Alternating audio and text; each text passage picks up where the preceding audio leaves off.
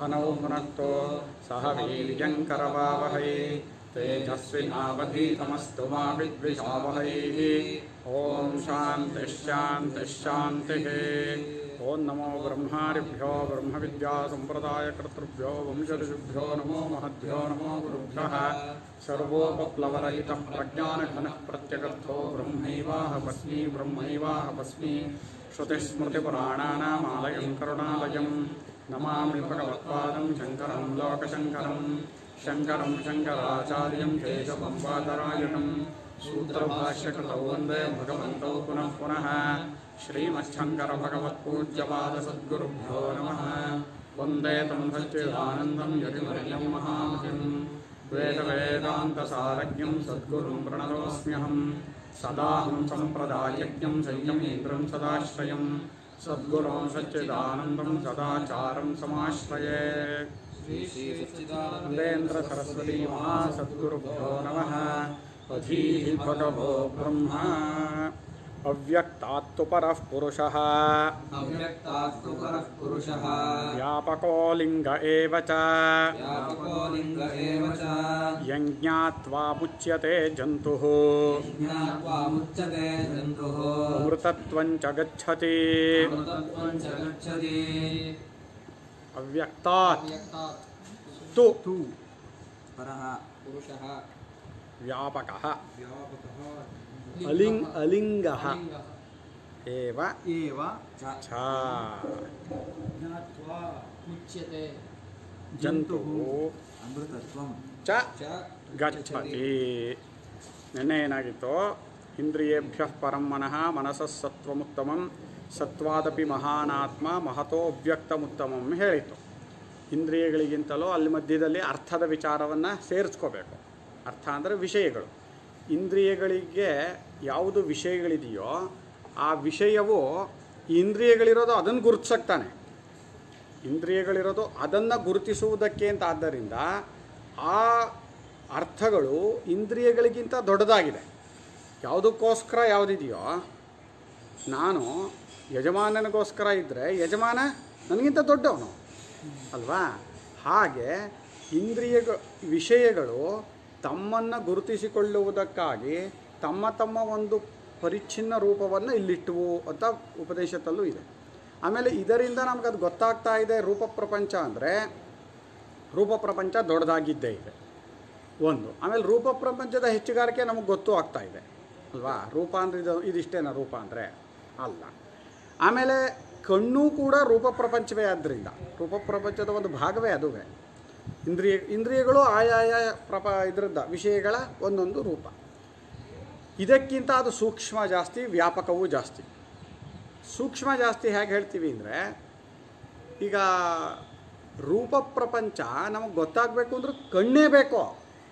ಬೇರೆ ಎಲ್ಲ ಇಂದ್ರಿಯಗಳು ಇದೆ ಮನಸ್ಸು ಇದೆ. ಕಣ್ಣಿಲ್ಲ ಅಂದ್ರೆ ರೂಪ ಪ್ರಪಂಚ ಗೊತ್ತಾಗತ್ತಾ? ಇಲ್ಲ. ಅಂದರೆ ರೂಪ ಪ್ರಪಂಚವು ಇದ್ದರೂ ಗೊತ್ತು ಮಾಡ್ಕೊಳ್ಳೋದಕ್ಕೆ ಅದನ್ನು ಅರಿಯುವಂತಹ ಶಕ್ತಿಯುಳ್ಳ ಇಂದ್ರಿಯವೇ ಬೇಕಾಗಿರೋದ್ರಿಂದ ರೂಪ ಪ್ರಪಂಚ ಸೂಕ್ಷ್ಮವಾಗಿರುವಂಥದ್ದೇ ಆ ಸೂಕ್ಷ್ಮವಾಗಿದೆ, ವ್ಯಾಪಕವಾಗಿದೆ, ಇದಕ್ಕಿಂತ. ಹೀಗೆ ಇಂದ್ರಿಯಗಳಿಗಿಂತ ವಿಷಯಗಳು ಸೂಕ್ಷ್ಮವಾಗಿವೆ, ವ್ಯಾಪಕವಾಗಿವೆ, ಮತ್ತು ಅವೇ ಕಾರಣಗಳು ಇದಕ್ಕೆ. ಇಂದ್ರಿಯಗಳಿಗೆ ಅವು ಕಾರಣ. ಈ ಮೂರು ಅರ್ಥದಲ್ಲಿ ಅಲ್ವಾ? ಅದು ಅದಕ್ಕಿಂತ ದೊಡ್ಡದು ಅಂತ. ಈಗ ಈ ವಿಷಯಗಳಿಗಿಂತ ಏನಾಗುತ್ತೆ? ವಿಷಯಗಳಿಗಿಂತ ಮನಸ್ಸಿಗೆ ಬಂದರು. ನಮ್ಮ ಮನಸ್ಸು ಅಂತ ಇಲ್ಲಿಗೆ ಬರುತ್ತೆ. ಅವ್ರ ಮನಸ್ಸು ಅಂತ ಹೇಳುವಾಗ ಒಂದು ಮನಸ್ಸು ಅಂತ ಹೇಳಿಲ್ಲ. ಯಾರೊಬ್ಬರ ಮನಸ್ಸು ಅಂತ ಹೇಳಿಲ್ಲ. ಸರ್ವವ್ಯಾಪಕ ಮನಸ್ಸನ್ನು ಹೇಳ್ತಾ ಇರೋದು. ಈ ಮನಸ್ಸಿಗೋಸ್ಕರ ತಾನೇ ವಿಷಯಗಳಿರೋದು. ಯಾವುದಕ್ಕೋಸ್ಕರ ಯಾವುದಿದೆಯೋ? ಅದಕ್ಕೆ ಅದು ಅದು ಸಣ್ಣ. ಯಾವುದಕ್ಕೋಸ್ಕರ ಅಂತೀವೋ ಅದು ದೊಡ್ಡದು. ಅಲ್ವಾ? ಈಗ ವಿಷಯಗಳಿರೋದು ಮನಸ್ಸಿಗೋಸ್ಕರ, ಮನಸ್ಸಿನ ಆನಂದಕ್ಕೋಸ್ಕರ ತಾನೇ. ಒಂದು. ಇನ್ನು ಮನಸ್ಸಿದ್ದಾಗ ಮಾತ್ರ ತೋರುತ್ತವೆ ಮನಸ್ಸಿಲ್ಲದೆ ಇರುವಾಗ ವಿಷಯಗಳು ತೋರೋದೇ ಇಲ್ಲ. ಆದ್ದರಿಂದ ಮನಸ್ಸು ಇದ್ದಾಗ ತೋರುತ್ತವೆ ಅಂದರೆ ಮನಸ್ಸಿನಿಂದಲೇ ಹುಟ್ಟಿರೋವಂಥದ್ದು ಅಂತ. ಮನಸ್ಸೇ ಪ್ರಪಂಚ, ವಿಷಯಗಳು ಅಂತ. ಅದನ್ನೇ ಗೌಡಪಾದಕಾರಿಕೆಯಲ್ಲಿ ವಿಧನ್ ದ್ವೈತಂ ಅಂತ ಆಚಾರ್ಯರು, ಇದೆಲ್, ಈ ದೃಶ್ಯ ಪ್ರಪಂಚವೆಲ್ಲವೂ ಮನಸ್ಸೇ ಅಂದರು. ಯಾಕೆ? ಮನಸ್ಸಿಲ್ಲದೆ ಇರುವಾಗ ತೋರಲ್ಲ. ನಿದ್ರೆಯಲ್ಲಿ ಮನಸ್ಸಿರಲಿಲ್ಲ. ವಿಶ್ ರೂಪ ಪ್ರಪಂಚ ಯಾವ ದೃಶ್ಯ ಪ್ರಪಂಚ ಅನ್ನೋದು ಇರಲೇ ಇಲ್ಲ. ಪ್ರಪಂಚವೇ ಇರಲಿಲ್ಲ. ಯಾಕೆ? ಅವೆಲ್ಲವೂ ಮನಸ್ಸೇ. ಆಮೇಲೆ ಕನಸಿನಲ್ಲಿ ನಮ್ಗೆ ಸ್ಪಷ್ಟ ಹೇಳ್ತೀವಿ, ಅಲ್ಲಿ ತೋರಿದ್ದೆಲ್ಲ ನನ್ನ ಮನಸ್ಸಿನ ಭ್ರಮೆ ಅಂತ ಹೇಳ್ತೀವಿ. ಅಲ್ಲಿ ನಮಗೆ ಶಬ್ದ ಸ್ಪರ್ಶ, ರೂಪರಸ, ಗಂಧಾದಿ ಎಲ್ಲವೂ ತೋರಿರುತ್ತೆ. ಅದಷ್ಟೂ ಕೂಡ ಮನಸ್ಸೇ ಅಂತ, ಮನಸ್ಸಿನ ಭ್ರಮೆ ಅಂದ್ರೇನು ಮನಸ್ಸೇ ಅಂತ. ಅಂತ ಆದರೆ ಆ ರೂಪಪ್ರ ಅಂದರೆ ವಿಷಯಗಳು ಮನಸ್ಸಿನಿಗೋಸ್ಕರ ಇವೆ ಮನಸ್ಸಿನಿಂದಲೇ ಹುಟ್ಟಿವೆ ಆದ್ದರಿಂದ ಮನಸ್ಸು ಅವುಗಳಿಂದ ಸೂಕ್ಷ್ಮ ಮನಸ್ಸು ಕೂಡ ಇನ್ನು ವಿಷಯಗಳಿಂದ ಮನಸ್ಸು ಗೊತ್ತಾಗತ್ತಾ? ಸೂಕ್ಷ್ಮವಾಗಿದೆ. ಮನಸ್ಸು ಇಂದ್ರಿಯಗಳಿಗಿಂತಲೂ ಸೂಕ್ಷ್ಮವಾಗಿದೆ ಮನಸ್ಸು. ಮನಸ್ಸು ಸೂಕ್ಷ್ಮವಾಗಿದೆ ವ್ಯಾಪಕವಾಗಿದೆ ವಿಷಯಗಳಿಗೆ ಕಾರಣವಾಗಿದೆ ಅಂತ ಆದ್ದರಿಂದ ಅದಕ್ಕಿಂತ ಮನಸ್ಸು ದೊಡ್ಡದು. ಇಲ್ಲ ಇಲ್ಲ. ಜಾಗೃತ ಅವಸ್ಥೆಯ ಮನಸ್ಸು ಸ್ವಪ್ನ ಪ್ರಪಂಚದ ಮನಸ್ಸು ಒಂದೇ ಅಲ್ಲ. ಒಂದೇ ಅಂತ ಆಗ್ಬಿಟ್ಟಿದ್ದಿದ್ರೆ ಇಲ್ಲಿ ದುಃಖಿತನಾದವನು ಮಲಕ್ಕೊಂಡಾಗಲೂ ದುಃಖಿತನಾಗೇ ಇರಬೇಕಿತ್ತು. ಹಾಗೇನಿಲ್ಲಪ್ಪ ಎಷ್ಟೋ ಸಲ ದುಃಖದಿಂದ ಮಲಕ್ಕೊಂಡ ನಮಗೆ ಸಂತೋಷದ ಕನಸು ಬರುತ್ತೆ. ಬರುತ್ತಾ ಇಲ್ವೋ? ಹೌದು. ಎಷ್ಟೋ ಸಲ ಸಂತೋಷದಿಂದ ಕೂಡಿಕೊಂಡ ನಾವು ಮಲಕ್ಕೊಂಡಾಗ ದುಃಖ ಅತ್ಯಂತ ದುಃಖಿತವಾದ ಕನಸುಗಳು ಬರುತ್ತೆ. ಈ ಅರ್ಥದಲ್ಲಿ ನೋಡಿದಾಗ ಮನಸ್ಸು ಅಂದರೆ ಅಂತಃಕರಣವು ಸೇರಿ ಇಲ್ಲಿಗೆ ಜಾಗೃತ ಅವಸ್ಥೆಗೆ ಕಟ್ಟು ಬಿದ್ದಂತಹದ್ದೇ ಬೇರೆ ಎಚ್ಚ ಸ್ವಪ್ನ ಪ್ರಪಂಚಕ್ಕೆ ಕಟ್ಟು ಬಿದ್ದಿದ್ದೇ ಬೇರೆ. ಆಮೇಲೆ ನಾವು ಬಿಟ್ಟು ಬರೋ ಇಲ್ಲಿನ ಚಿತ್ರಣಗಳು ಬರುತ್ತೆ ಅನ್ನೋದನ್ನು ನಾವು ಅಲ್ಲೇ ಹೇಳಬೇಕು. ಇಲ್ಲಿಂದ ಹೇಳೋದಲ್ಲ. ಎಷ್ಟೋ ಸಲ ಅಲ್ಲಿ ಚಿತ್ರಣಗಳು ಆಮೇಲೆ ಇಲ್ಲಿಗೆ ಬರುತ್ತೆ. ಮೊದಲು ಕನಸಲ್ಲೇ ನೋಡಿರ್ತೀವಿ. ಅಯ್ಯೋ ನೆನ್ನೆ ಇವ್ರನ್ನ ಕನಸಲ್ಲಿ ನೋಡಿದ್ದೆ. ನನಗೆ ಒಂದು ಸಲ ಬಂದಿತ್ತು. ನಾನು ಹಾಸ್ಟ್ಲಲ್ಲಿದ್ದೆ. ಆಗ ಅದು ಕನಸು ಅಂತೇನಲ್ಲ, ಆದರೆ ಮುಂಚೆನೇ ಗೊತ್ತಾಗಿತ್ತು ಅನ್ನೋ ಅರ್ಥದಲ್ಲಿ. ಬೇಡ, ಅದು ಬೇಡ. ಕನಸಿಂದಲ್ಲ ಹೇಳೋದಾದರೆ, ಎಷ್ಟೋ ಸಲ ನಮಗೆ ಕನಸಿನಲ್ಲಿ ಮುಂಚೆ ಕಂಡು ಆಮೇಲೆ ಅವರು ನಿಲ್ಕೊಂಡಿರ್ತೀವಿ ಕಂಡಿರ್ತೀವಿ ನಾವು. ಎಷ್ಟೋ ಸಲ ಆಗುತ್ತದು ಆಗಲ್ಲ ಅಂತೇನಿಲ್ಲ. ಈಗ ಅದು ದೊಡ್ಡದು ಅನ್ಬೇಕೋ, ಇದು ದೊಡ್ಡದು ಅನ್ಬೇಕೋ, ಆ ಅರ್ಥದಲ್ಲಿ ತಗೊಂಡ್ರೆ? ಆಮೇಲೆ ಇಲ್ಲಿಯ ವಸ್ತುಗಳನ್ನೇ ನಾವು ಅಲ್ಲಿ ಕಾಣ್ತೀವಿ, ಕನಸಿನಲ್ಲಿ ಕಾಣ್ತೀವಿ ಅನ್ನೋದನ್ನು ಕನಸಿನಲ್ಲಿದ್ದಾಗ ಹೇಳ್ಬೇಕು ನೀವು, ಇಲ್ಲಿಂದ ಹೇಳೋದಲ್ಲ. ನೀವು ಅಲ್ಲಿದ್ದಾಗ ಇದು ಇಲ್ಲಿಯ ವಸ್ತು ಅಲ್ಲ, ಇದು ಎಚ್ಚರದ ವಸ್ತು ಅಂತ ಹೇಳ್ತೀವ ನಾವು. ಎಚ್ಚರ ಅನ್ನೋದು ಆ ಟೈಮ್ ಅದಕ್ಕಿಂತ ಬೇರೆಯಾಗಿರುತ್ತೆ ಎಚ್ಚರ ಅನ್ನೋದು. ಆವಾಗ ಅದೇ ಎಚ್ಚರ, ಅದೇ ಸತ್ಯ. ನಮ್ಮ ಬುದ್ಧಿ ಏನು ಮಾಡುತ್ತೆ ಆಯಾಯ ಕಾಲಕ್ಕೆ ಎದುರಿಗೆ ತೋರುವಂತಹ ವಿಷಯಗಳನ್ನು ಸತ್ಯ ಅಂತ ಹೇಳುತ್ತೆ, ಎಚ್ಚರ ಅಂತ ಹೇಳುತ್ತೆ, ನಮ್ಮ ಬುದ್ಧಿಯ ಸ್ವಭಾವ ಇದು. ಇದನ್ನ ಇಟ್ಕೊಂಡ್ರೆ ಕನಸಿನ ಕಾಲಕ್ಕೆ ಅದೇ ಎಚ್ಚರ. ಅದಕ್ಕೇ ನಮ್ಮ ಬುದ್ಧಿಗೆ ಹಗ್ಗವನ್ನು ಹಾವು ತಪ್ಪು ತಿಳ್ಕೊಂಡಾಗಲೂ ಅದೇ ನಿಜ ಅಂತ ಹೇಳುತ್ತೆ. ಅದು ಹಾವಲ್ಲ, ಅದೇನೋ ಒಂದು ನೆಲದ ಬಿರುಕು ಅಂದರೆ ಅದನ್ನೇ ಸತ್ಯ ಅನ್ನತ್ತೆ. ಇನ್ನೊಂದು ಅಲ್ಲ, ಅದೇನೋ ಒಂದು ಹೂವಿನ ಮಾಲೆ ಬಿದ್ದಿದೆ ಅಂದ್ಕೊಂಡ್ರೆ ಅದೇ ಸತ್ಯ ಅನ್ನತ್ತೆ. ನಿಮಗದು ಬುದ್ಧಿಗೊಂದ್ಸಲ ಇದಿದೆ ಅಂತ ಅನ್ನಿಸ್ಬಿಟ್ರೆ ಅದು ಏನೇನು ತೋರ್ತಾ ಎಲ್ಲ ಸತ್ಯ ಅಂದ್ಕೊಂಡು ಹೋಗ್ಬಿಡುತ್ತೆ. ಭಾರಿ ಕಷ್ಟ ಬುದ್ಧಿದು. ತೋರುವಿಕೆಯನ್ನು ಆಮೇಲೆ ಬುದ್ಧಿಯಲ್ಲಿ ಹೀಗೆ ಹಾಗೆ ಮಾಡಿ ಅದಕ್ಕೆ ಪರೀಕ್ಷಣ ನಿರೀಕ್ಷಣೆಗಳಿಗೆ ಒಳಪಡಿಸಿ ಅದಕ್ಕೆ ಬೇರೆ ಬೇರೆ ರೀತಿಯಲ್ಲಿ ತಿಳ್ಕೊಬೇಕೇ ಹೊರತು ಬುದ್ಧಿಯ ಸ್ವಭಾವವೇ ಎದುರಿಗೆ ಏನು ತೋರಿದ್ರೋ ಅದನ್ನು ಮೊದಲು ಸತ್ಯ ಅಂದ್ಬಿಡುತ್ತೆ ಅದಕ್ಕೆ ಅವ್ರು ಪ್ರತ್ಯಕ್ಷ ನೋಡಿದರು ಪ್ರಮಾಣಿಸಿ ನೋಡು ಅಂದರು. ಬುದ್ಧಿ ತೋರಿಸಿದ್ದನ್ನೆಲ್ಲ ಅಂದರೆ ಇಂದ್ರಿಯಗಳು ತೋರಿಸಿದ್ದನ್ನು ನೀನು ಒಪ್ ನಂಬ್ಕೊಂಬಿಟ್ರೆ ವ್ಯವಹಾರದಲ್ಲೇ ನಾವು ಬಿದ್ದೋಗ್ತೀವಿ ಎಷ್ಟೋ ಸಲ. ಎಷ್ಟೋ ಸಲ ಬಿದ್ದೋಗ್ಬಿಡ್ತೀವಿ. ತಪ್ಕೊಂಬಿಡ್ತೀವಿ. ಅಯ್ಯೋ, ನಾನು ಹೇಳಬಾರ್ದಾಗಿತ್ತು. ಹಾಂ ಕೆಲಸ ಸಲ ಯಾರನ್ನೋ ಬೈತೀವಿ ಅಂತ ಇಟ್ಕೊಳ್ಳಿ. ಅವ್ರು ತಪ್ಪೇ ಆಗಿರಲ್ಲ ಅದು. ನಾವು ಬೈದ್ಬಿಟ್ಟಿರ್ತೀವಿ. ಆಮೇಲೆ ನಮ್ಗೆ ಅವ್ರು ತಪ್ಪಿಲ್ಲ ಅಂತ ಗೊತ್ತಾಗತ್ತೆ. ಬೇಜಾರಾಗತ್ತೆ ನಮಗೆ. ಅಂದರೆ ಬುದ್ಧಿಯ, ಅಂದರೆ ಬುದ್ಧಿಯಿಂದ ಹಿಡಿದು ಅಥವಾ ದೇಹದಿಂದ ಹಿಡಿದು ಬುದ್ಧಿಯವರೆಗೆ ಇರೋದೆಲ್ಲವೂ ನಮಗೇನೇನೋ ತೋರಿಸುತ್ತೆ, ಏನೇನೋ ಆಗುತ್ತಲ್ಲ ಅದೆಲ್ಲವೂ ಅದೇ ಸತ್ಯ ಅಂತ ಹಠ ಹಿಡಿದ್ರೆ ಇವಾಗ ತೋರ್ತಾ ಇದೆಯಲ್ಲ, ಇದೇ ಸತ್ಯ. ಅಂದ್ರೆ ಆವಾಗಲೂ ಅದು ತೋರ್ತಿತ್ತು. ಆಮೇಲೆ ಇಲ್ಲಿರೋದು ಯಾವುದೋ ಅಲ್ಲಿಗೆ ಬರಲಿಲ್ಲಪ್ಪ. ಇಲ್ಲಿರೋದು ಬರೋದಕ್ಕೆ ಈಗ ಸಹಜವಾಗಿ ನೋಡಿದರೆ ಈ ದೇಹ ಇಂದ್ರಿಯಗಳಂತೂ ಬಂದಿಲ್ಲ. ಇಲ್ಲೇ ಕಣ್ಣು ಮುಚ್ಕೊಂಡು ಮಲ್ಕೊಂಡಿದ್ದಾನೆ. ಇಲ್ಲಿಗೆ ಅಲ್ಲಿ ಬಂದಿದ್ರೆ ಅಲ್ಲಿಂದ ತಗೊಂಡೋಗಿರೋ ಗ್ಯಾಪಕ್ಕೂ ಇಲ್ಲ, ತಂದಿರೋ ಗ್ಯಾಪಕ್ಕೂ ಇಲ್ಲ. ಬಂದಿದೆ ಅಂತ ಹೇಗೆ ಹೇಳೋದು? ಎತ್ಕೊಂಡೋಗಿರೋ ಜ್ಞಾಪಕ ಇದೆಯಾ? ನಾನು ಹೋಗಿರೋ ನಾನೊಬ್ಬನೇ ಹೋಗಿರೋ ಜ್ಞಾಪಕ ಇರೋದು ನನಗೆ. ನಾನೇ ಇಡೀ ಕನಸನ್ನು ನೋಡಿದ್ದು. ನಾನೇ ನಿದ್ದೆಯನ್ನು ಮಾಡಿದ್ದು? ನಾನೇ ಹೆಸ್ರಿಗೆ ಬಂದಿರೋದು ಅಂತ ಅಷ್ಟೇ ಹೊರತು ದೇಹವನ್ನು ಎತ್ಕೊಂಡು ಹೋಗಿದ್ದು, ಇಂದ್ರಿಯಗಳನ್ನು ಎತ್ಕೊಂಡು ಹೋಗಿದ್ದು, ಮನಸ್ಸನ್ನು ಎತ್ಕೊಂಡು ಹೋಗಿದ್ದು ಯಾವುದು ಜ್ಞಾಪಕವೇ ಇಲ್ಲ. ಜ್ಞಾಪಕ ಇಲ್ಲದೆ ಇರೋದನ್ನು ಒಪ್ಕೋತೀನಿ ಅನ್ನೋದಾದರೆ ಈ ಪ್ರಪಂಚದಲ್ಲಿ ನಿಯಮ ಮಾಡಬೇಕಾಗಿಲ್ಲ. ನನ್ನ ಅನುಭವಕ್ಕೆ ಬರದೇ ಇರೋದನ್ನು ನಾನು ಒಪ್ಕೋತೀನಿ ಅನ್ನೋದಾದರೆ ಈ ಪ್ರಪಂಚದಲ್ಲಿ ನಿಯಮ ಮಾಡಬೇಕಾಗಿಲ್ಲಪ್ಪ, ಯಾವುದಕ್ಕೂ ಹೇಗೆ ಬೇಕಿದ್ರೂ ಇರಬಹುದು. ಹಾಗಾಗಲ್ಲ ಯಾಕೆಂದರೆ ಯಾವುದು ಅನುಭವವೋ ಅದು ಸ್ಮೃತಿಗೆ ಬಂದು ಸ್ಮೃತಿಯಲ್ಲಿ ಅದು ಕರೆಕ್ಟಾಗಿರೋವಾಗ ಅದನ್ನೇ ಹೇಳಬೇಕು, ಹಾಗೆ ವ್ಯವಹಾರ ಇರೋದು. ಅನುಭವನೂ ಇಲ್ಲ, ಸ್ಮೃತಿನೂ ಇಲ್ಲ ಅಂದರೆ ವ್ಯವಹಾರ ಹೇಗೆ? ನಿನ್ನೆ ನಾನು ಇಂಥ ಊಟ ಮಾಡಿದೆ, ಇವತ್ತು ಬೆಳಗ್ಗೆ ಇಂಥ ತಿಂಡಿ ತಿಂದೆ ಅನ್ನೋ ಅನುಭವವೂ ಬೇಡ, ಸ್ಮೃತಿನೂ ಬೇಡ. ಅನುಭವಕ್ಕೆ ತಕ್ಕಂತೆ ಸ್ಮೃತಿ ಆಗೋದು. ಆ ಅನುಭವವೂ ಇಲ್ಲ, ಸ್ಮೃತಿನೂ ಇಲ್ಲ ಅಂದರೆ ಬೆಳಗ್ಗೆ ತಿಂದ ಅನ್ನೋ ಶಬ್ದಕ್ಕೆ ಅರ್ಥ ಏನು? ಅದರಿಂದ ಇನ್ನೊಂದು. ಸ್ವಾಮಿಗಳು ಇದನ್ನೆಲ್ಲ ಪಂ ಪರಮಾರ್ಥ ಚಿಂತಾಮಣಿಯಲ್ಲಿ ದೊಡ್ಡದಾಗಿ ವಿಸ್ತಾರವಾಗಿ ತಗೊಂಡಿದ್ದಾರೆ ಸಚ್ಚಿದಾನಂದ ಗುರುಗಳು.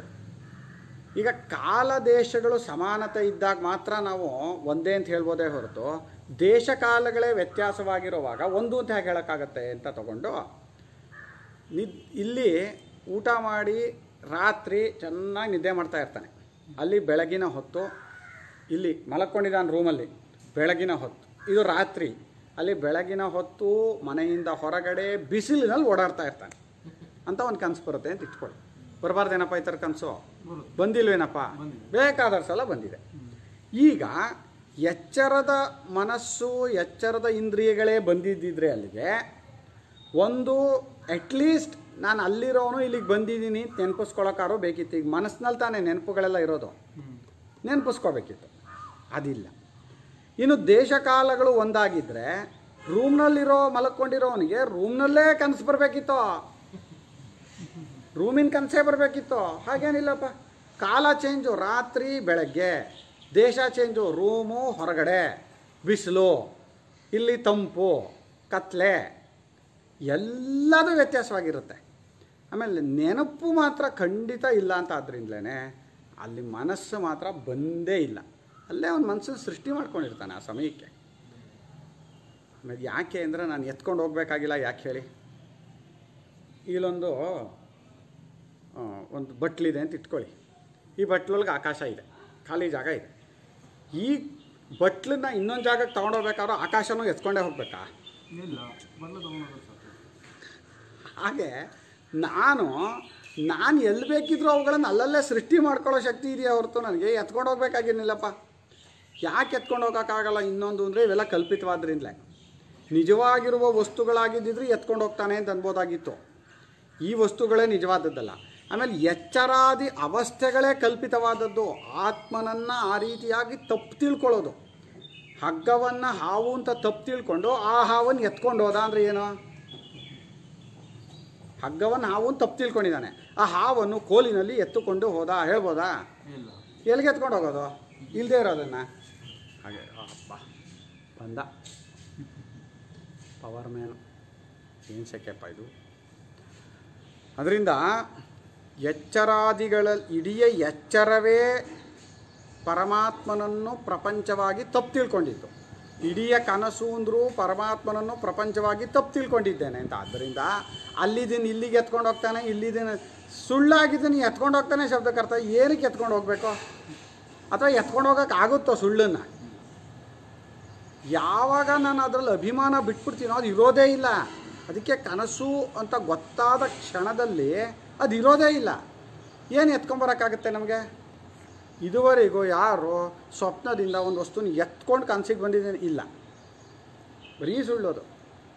ಆದರೆ ಮನುಷ್ಯನಿಗೆ ಕೆಲವೊಂದು ಘಟನೆಗಳನ್ನು ನೋಡಿ ಪುರಂದರದಾಸರ ಕೈಗೆ ಅವನು ಉಂಗುರ ಕೊಡಲಿಲ್ವಾ ಅವನಿಗೆ ಅದು ಕನಸಲ್ಲಿ ಬಂದಿತ್ತು. ಏಯ್ ಕನಸಿನಲ್ಲೂ ಬಂದಿದ್ದ. ಇಲ್ಲೂ ಬಂದಿದ್ದ ಅಂತ ಆಗತ್ತೆ. ಅಥವಾ ಆ ರೀತಿಯಾದ ಒಂದು ಕನಸು ಅಂತ ಆಗುತ್ತೆ. ಅಲ್ಲಿ ಬಂದಾಗ ನನಗೆ ಕನಸಿನಲ್ಲಿ ಕೊಟ್ಟರು, ಇಲ್ಲೂ ಇದ್ದ ಕೈಗೆ ಬಂತು ಅಂತ. ಪರಮಾತ್ಮನಿಗೇನು ಅಲ್ಲೂ ಒಂದು ಕೈ ಕೊಡೋಕೆ ಇಲ್ಲೂ ಒಂದು ಕೈ, ಎರಡು ಕೈ ಕೊಡೋಕ್ಕಾಗಲ್ವ ಅವನಿಗೆ? ಕನಸಿನ ಕೈಗೆ ಕೊಡ್ತಾನಂತ ಈ ಕೈ ಕೊಡೋಕ್ಕಾಗಲ್ವ? ಅದೆಲ್ಲ ಏನು, ಕೆಲವೊಂದು ಘಟನೆಗಳನ್ನು ನೋಡಿಕೊಂಡು ಅಲ್ಲಿದ್ದು ಇಲ್ಲಿಗೆ ಬಂದಿದೆ ಅಂತಾರೆ. ಸರಿ ಅಲ್ಲಿದ್ದು ಇಲ್ಲಿಗೆ ಬಂದಿದೆ ಅಂತ ಆದರೆ ಅದನ್ನೇ ದೊಡ್ಡದೋನು ಇದನ್ನೇ ದೊಡ್ಡದು ಅಂತೀಯ? ಇದ್ರ ಯಾವ ಹೆಚ್ಚುಗಾರಿಕೆ ಇದೆ ಇದಕ್ಕೆ? ಎಚ್ಚರ ಅಂತ ನೀನು ಇದಕ್ಕೆ ಹೆಚ್ಚುಗಾರಿಕೆ ಕೊಡೋದಾದರೆ ಆ ಸಮಯದಲ್ಲಿ ಅದೇ ಎಚ್ಚರವಾಗಿತ್ತು. ಎಲ್ಲ ಇಲ್ಲಿ ವ್ಯವಹಾರ ಚೆನ್ನಾಗಿ ನಡೀತಾ ಇದೆ ಅಂದರೆ ಆ ಸಮಯದಲ್ಲಿ ಅಲ್ಲಿ ವ್ಯವಹಾರ ಚೆನ್ನಾಗೇ ನಡೆದಿತ್ತು. ಅಲ್ಲೂ ಊಟ ಮಾಡಿದರೆ ಹೊಟ್ಟೆ ತುಂಬೋದು. ಅಲ್ಲೂ ಅದೇ ತಾನೇ ವ್ಯವಹಾರ. ಅಲ್ಲೂ ಕಣ್ಣಿಂದಲೇ ನೋಡೋದು ಕಿವಿಯಿಂದ ನೋಡ್ತಾವ? ಇಲ್ಲ. ಹಾಂ ಮೂಗಿಂದ ನೋಡ್ತೀವ ಅಲ್ಲಿ. ಇಲ್ಲ. ನೋಡೋದು. ಇಲ್ಲ. ರೂಪ ಪ್ರಪಂಚವನ್ನು ಯಾವುದರಿಂದ ನೋಡ್ತೀವಿ? ಯಾಕೆ? ಕನ್ಸಲ್ವಾ? ಸುಳ್ಳಾಗಿರೋದ್ರಲ್ಲಿ ಬೇರೆ ಥರ ನೋಡ್ಬೋದಾಗಿತ್ತಲ್ಲ ಅಂದರೆ? ಅಲ್ಲೂ ಸೃಷ್ಟಿ ಮಾಡ್ಕೊಂಡಿದ್ದ. ನಾವು ಆಗಲಿ ಈಗ ಸುಳ್ಳಾದದ್ರಲ್ಲಿ ನಿಯಮ ಇರಬಾರ್ದು ಅಂತಾದರೆ ಅಲ್ಲ್ಯಾಕೆ ನಿಯಮ ಇದೆ?